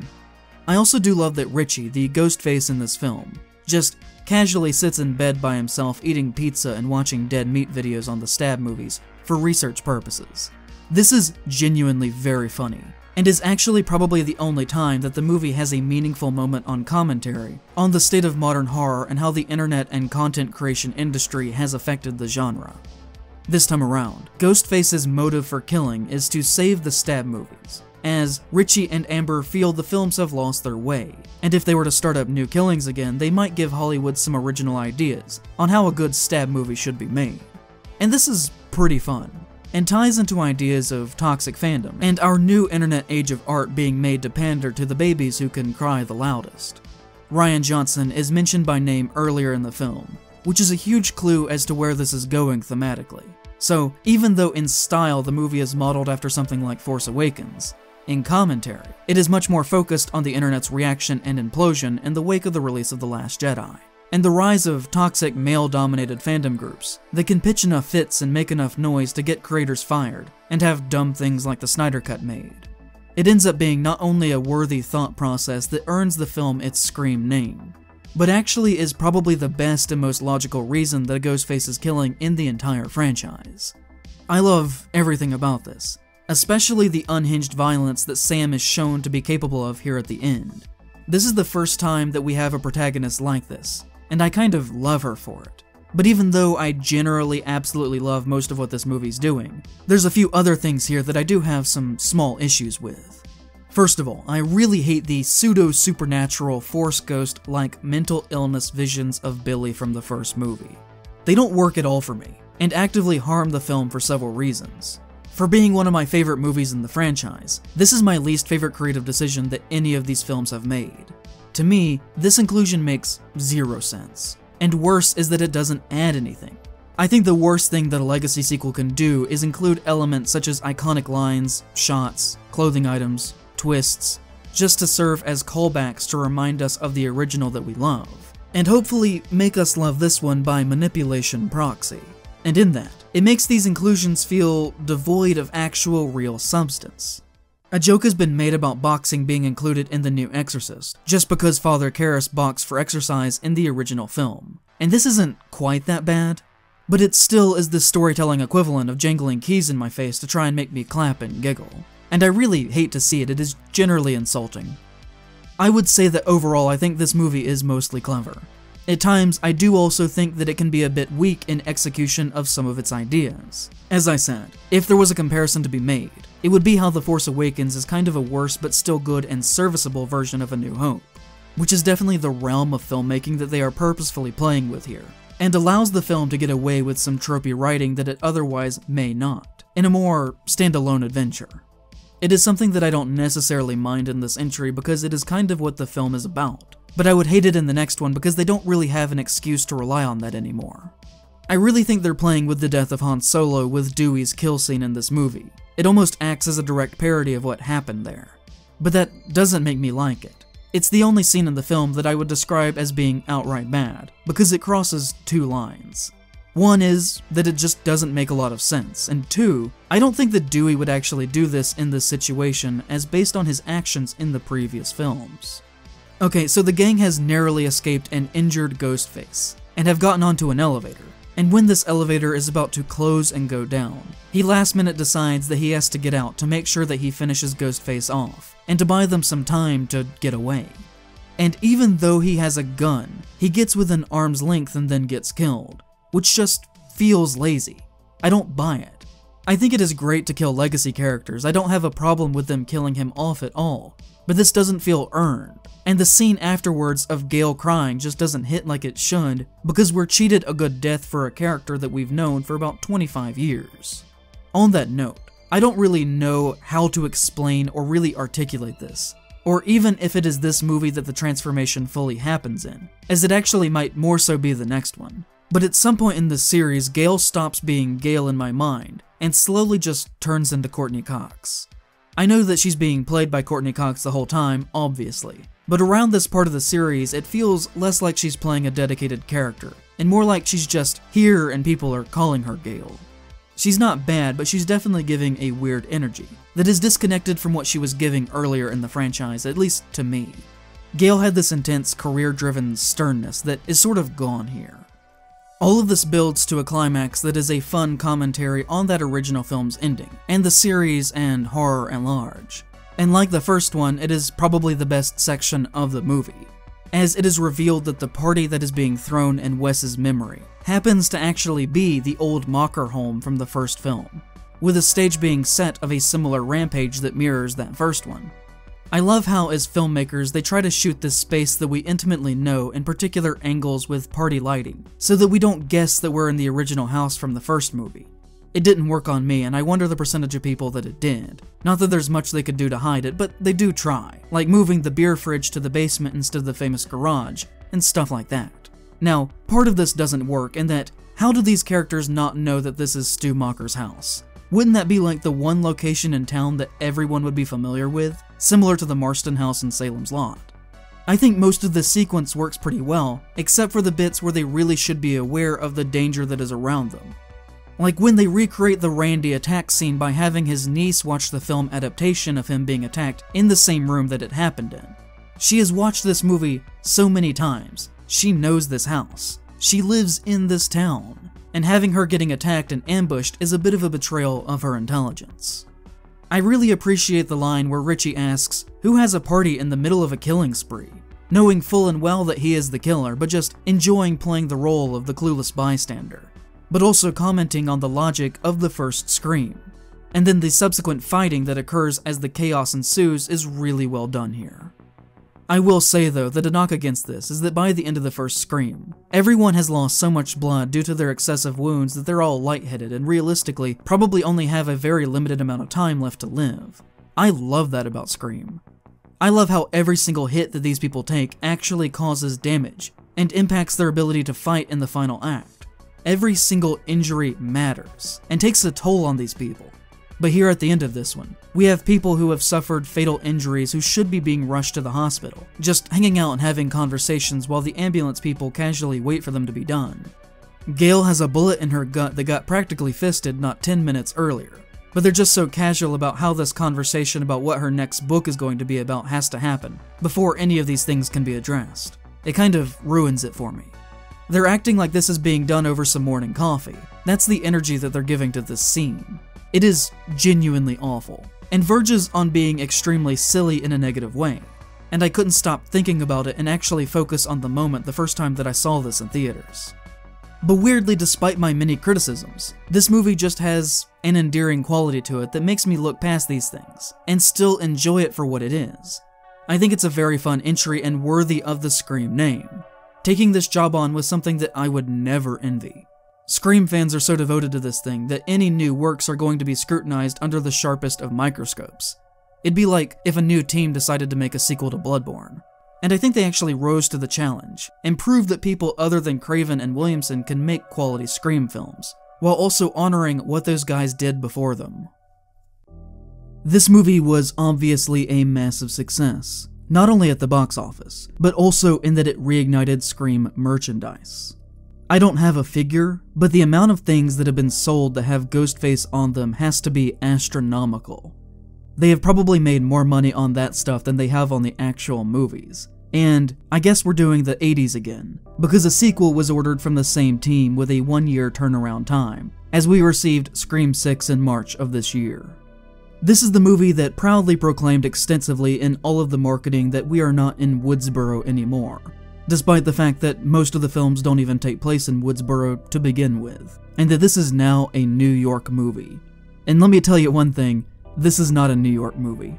Everything outside of the subway scene could have taken place in a small town or anywhere. And even that one really didn't specifically have to be in New York. It is so bizarre to me to have your opening kill take place in an alleyway in a city that is famous for having almost zero alleyways.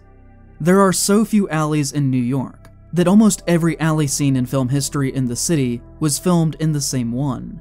It's not that there aren't any, but there are so few that it is such a prominent feel to that city that opening your New York horror movie this way does not bode well for the accuracy of tone to the chosen setting for the rest of the picture. Plus, what professional woman would walk down an alleyway at night to begin with, to meet a man that she has only ever spoken to on the phone and has never met before, who was also late to their date? The sequence doesn't work on multiple levels. This signals from the very beginning that the very thing that the film was marketed on was a false promise. And this movie was heavily marketed on its New York setting. But the thing is that they didn't even put up the money to have this be filmed in New York, and ended up being shot entirely in Canada, with a few drone stock shots mixed in with a couple more CGI backdrops to try and sell the illusion. Which just leaves the film to having a very unfortunately strange feel that is very pervasive across the entire runtime. It is also why pretty much every outdoor scene is shot with such a shallow depth of field, to where only the character that we're supposed to be looking at is in focus, because they're trying to hide the fact that none of this feels like that city. They do other silly things as well to try and sell the location falsely, like having the main detective who has supposedly grown up here his entire life have a little Statue of Liberty in his office like he's a tourist, which is just something that would almost certainly just never happen. At least Jason Takes Manhattan had the decency to do a couple of days actually in New York, so that we could see Jason in Times Square. But nothing in this film comes even close to that. And like, they even include a shot from that movie in this one as someone is watching it on television. And of all the movies to want to remind your audience of, that is a very strange one to pick, especially if you were to risk falling in the same holes that that one did. A big issue of these sequels is that they use their meta commentary as a shield from criticism, and by this point it just doesn't work anymore. This opening, however, does have some great ideas that it's playing with, that it unfortunately has no interest in following through with. The first is that our opening kill is on a character that we've never met before, played by horror icon Samara Weaving, who fulfills a similar bait and switch role to this movie that Drew Barrymore did back in the original. But what I love here is that normally as soon as the kill was over, we would cut to the logo of the film. But instead, the camera just sits on him as he breathes heavily, physically recovering from this exertion. It's a weirdly human moment that we don't get to typically see in these films. And then he even takes his mask off, and we're allowed to see his face. We learn he is friends with a character that we already know. We see that he has a shrine in his home dedicated to the Stab films. And it seems for a moment that we're going to be given a Scream movie fueled entirely on dramatic irony that fulfills the original intended promise of the fourth film's ending. Where we know who Ghostface is the entire time, and the joy of it is watching the characters enter a field of open danger that we are aware of but they are not. Which is a fascinating idea to try and form one of these around to shake up that formula of what a Scream movie can be. It is such a good idea. But then his phone rings, and a different Ghostface is on the line, who kills him before he can ever actually affect the movie in any interesting way. He might as well have just not been in the film at that point. We could have had two Ghostface killers who were both operating in competition against each other, who don't know each other's identity. One who we know and one who we don't. A mix of both new and familiar territory within Scream. Bringing this idea into the film is a Pandora's box of great paths that they could have taken, and they don't go down any of them instead deciding to just kill that idea off and do more of what we've seen before. It teases a more interesting movie than this movie is in itself, which is like a cardinal sin in writing. I know this wasn't done purposefully as commentary, but I do find it very funny that we have a second Scream 2 that was rushed into production to make it into theaters the next year. And that isn't the only way that this film mirrors Scream 2, and that this one also follows our previous characters from a high school to college in a new setting. It is essentially just a soft remake of 2, including full-on copying scenes from that movie, such as the one in the park where Ghostface is watching them while talking on the phone. And things that I let slide in their first outing really stick out to me as negatives this time around. I really wish that they had longer to work on this, because there are cracks all over this thing, and I really don't think that a lot of the issues would have been here if they did not rush the film's release so much. So we start with getting some character drama re-establishing the relationships of these characters that we know, including a very welcome return of Hayden Panettiere's Kirby, plus some new faces that we don't, and Ghostface killings inevitably start back up again, throwing their lives into disarray. This actually comes pretty late into the film compared to other entries in the Scream franchise, with them realizing that they are in danger over half an hour into the runtime. But once things take off, this plays out like more of a horror action film than any of the others have in the past. From then on, it is essentially non-stop set pieces for the whole film's run, which is a lot of fun. But we have less of a mystery here going on than in any of the others. And I would argue that as a result, it has the weakest Ghostface reveal out of the franchise. But we'll get to that in a moment. In this opening, and sprinkled throughout the whole film, something that I really appreciate about this movie is that it focuses on the fact that these people have been through an incredibly difficult time, and have grown and become stronger through that. The core 4 stuff is kind of awful, almost as bad as the evil dies tonight catchphrase.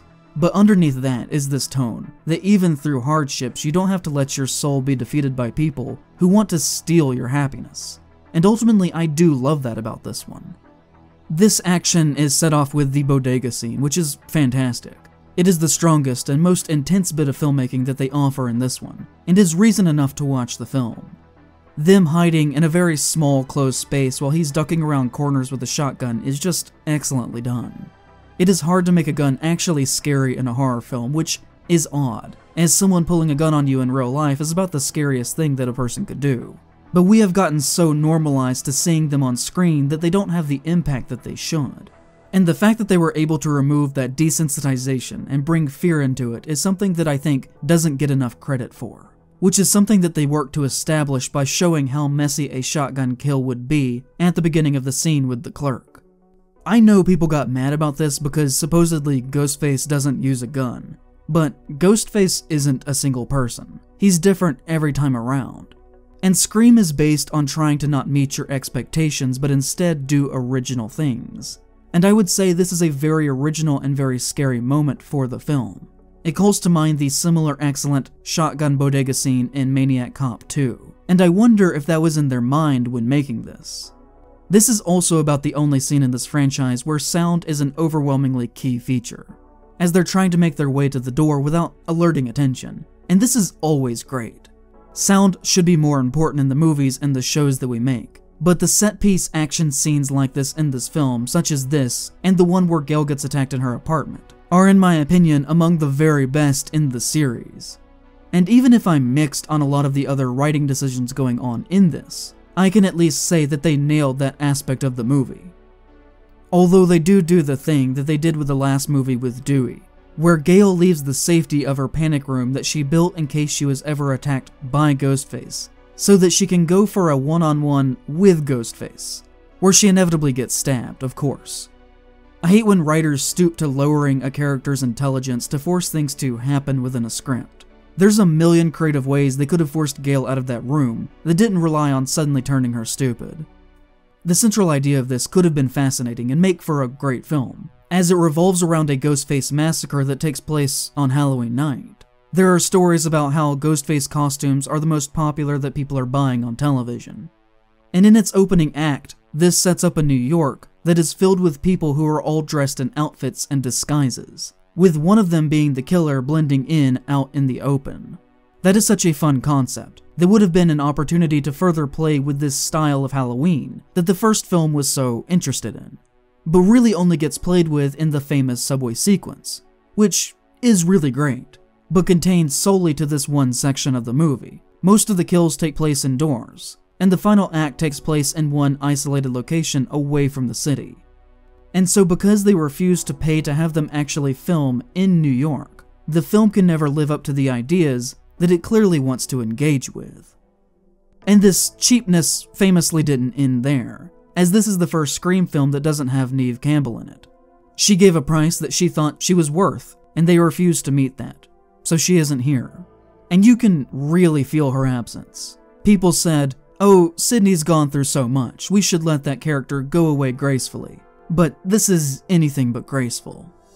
We are in an era of artists standing up for what they are owed for their craft, and her absence for that reason is a black mark on this project. She carried these movies for decades at this point, and they should have paid her what she wanted. She is Scream.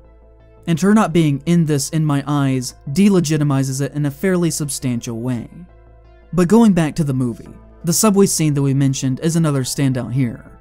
And I think they actually do sell the feel of that location pretty well, and is one of the moments where it seems they spared no cost.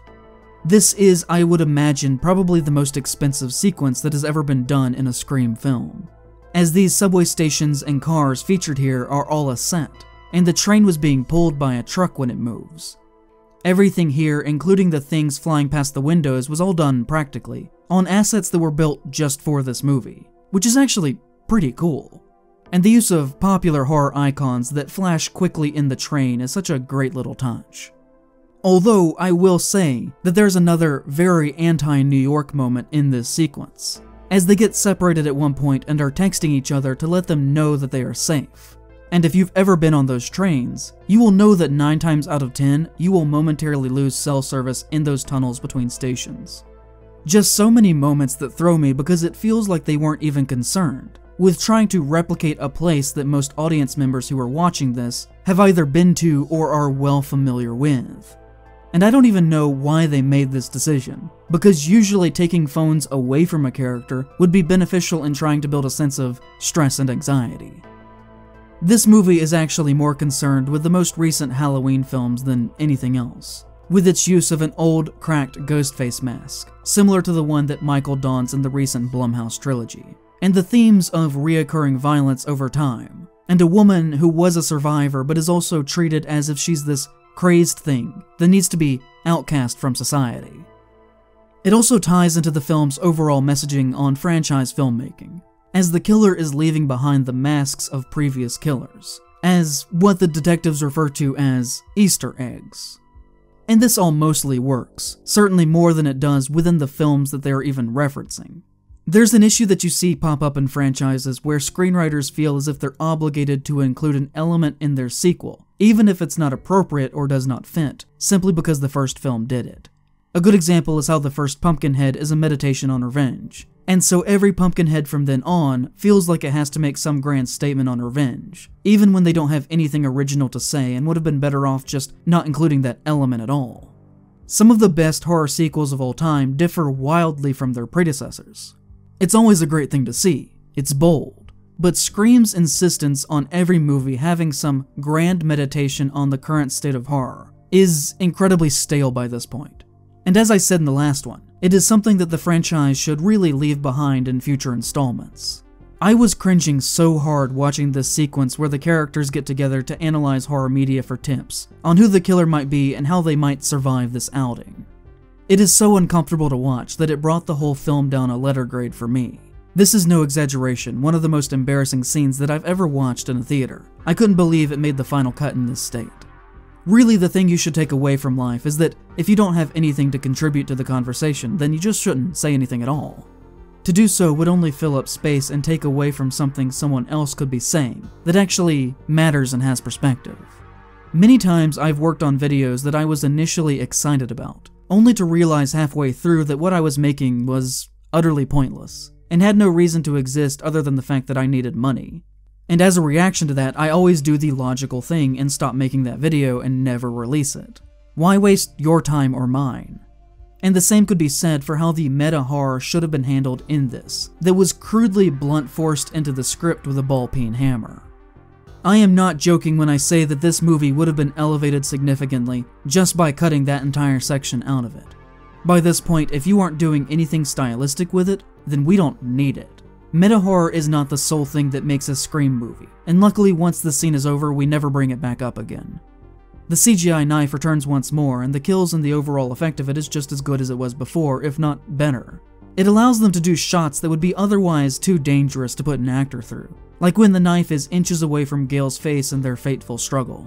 And the use of that technology really does elevate these later movies. The action in these two most recent outings, the stylish way that the camera frames everything is just so nice. and the direction that they go with really lives up to the looks of the original films. Essentially, the entire back half of this movie takes place in a museum of previous artifacts from the franchise that we think has been collected by Ghostface, but actually was owned by Richie in the previous movie. A museum that he has slowly amassed to be almost like a church of worship. I really like this idea a lot. It takes his love of the stab movies that essentially all of the villains have and turns it up to 11. Their drive to kill becomes so strong that it even models the environment around them. The way that they find this, though, is very off to me. Gale just somehow knows that it exists and takes them there. And when prompted about how she knows this, she just says, It's called investigative journalism. Which is just weak writing shrouded in a joke. There absolutely should have been some reason that leads them to this moment.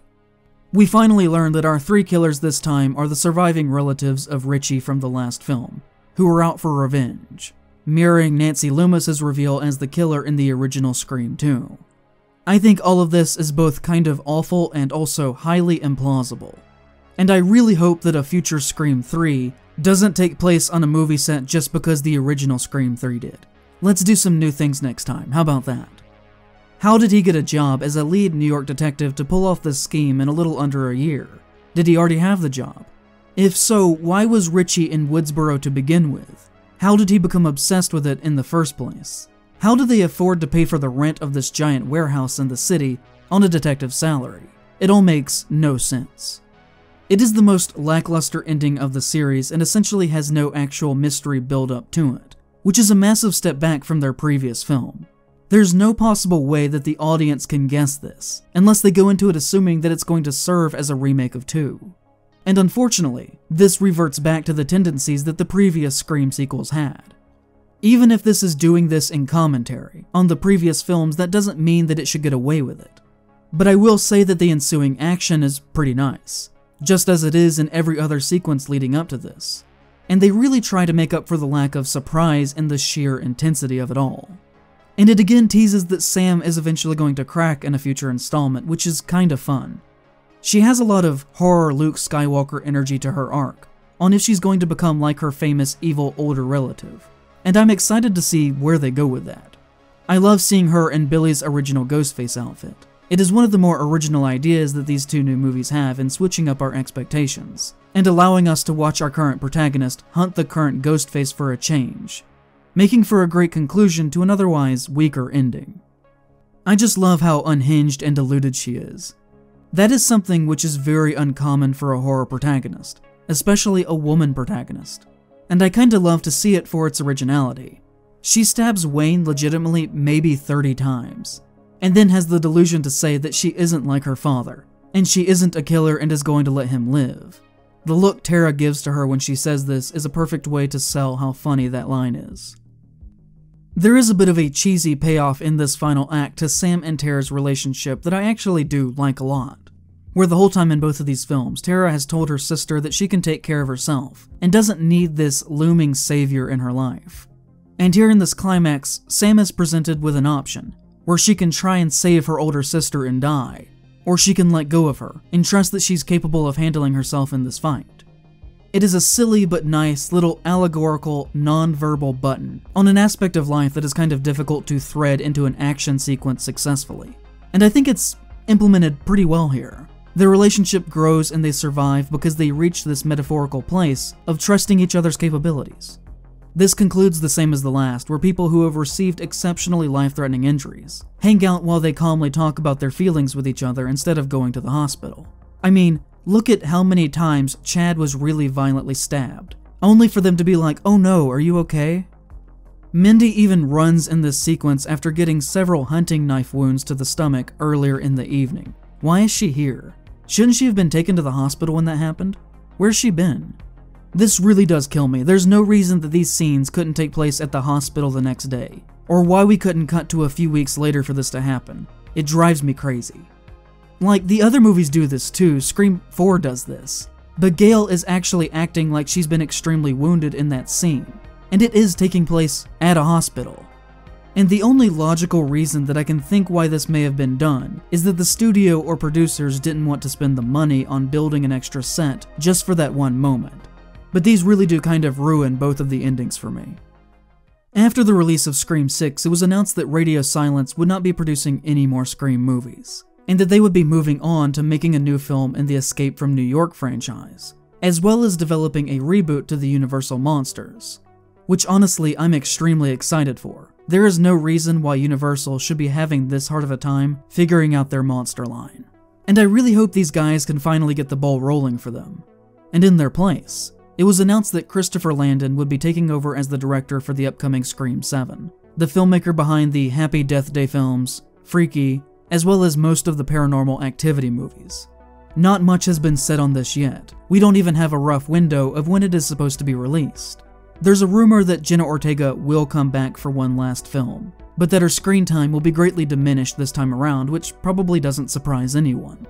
But that is kind of a massive loss to the series, because out of all of our new cast members, the range that she has is pretty impressive, and she is far and away the one who's giving the best performance in these out of the new bunch. His film Freaky was unfortunately one of those works that got sacrificed for small amounts of money during the early months of the pandemic, and as a result, very few people actually saw it. But it ended up being one of my favorite pandemic era films. And I kind of hate that the conditions of its release killed the impact that it may have had because that movie was a blast, and was really indicative to me on what he could do with a Scream film, as tonally they're quite similar. Which is probably one of the deciding factors of him getting the job there, just like Ready or Not was for Radio Silence. And as far as I'm concerned, Scream is in excellent hands that are poised to continue the franchise, and also again hopefully breathe a different, fresh air of life into its lungs. And I can't wait to see where they go with them. Pickety, pickety, boo! Bounce and flow!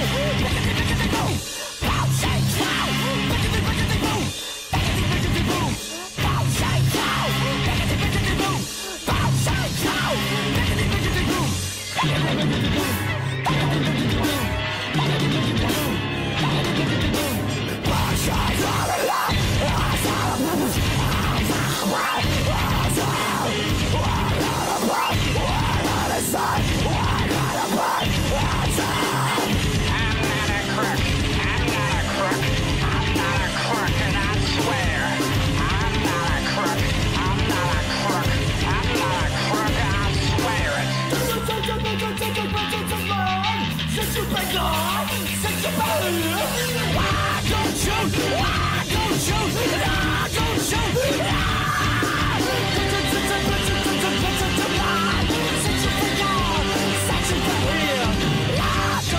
Let's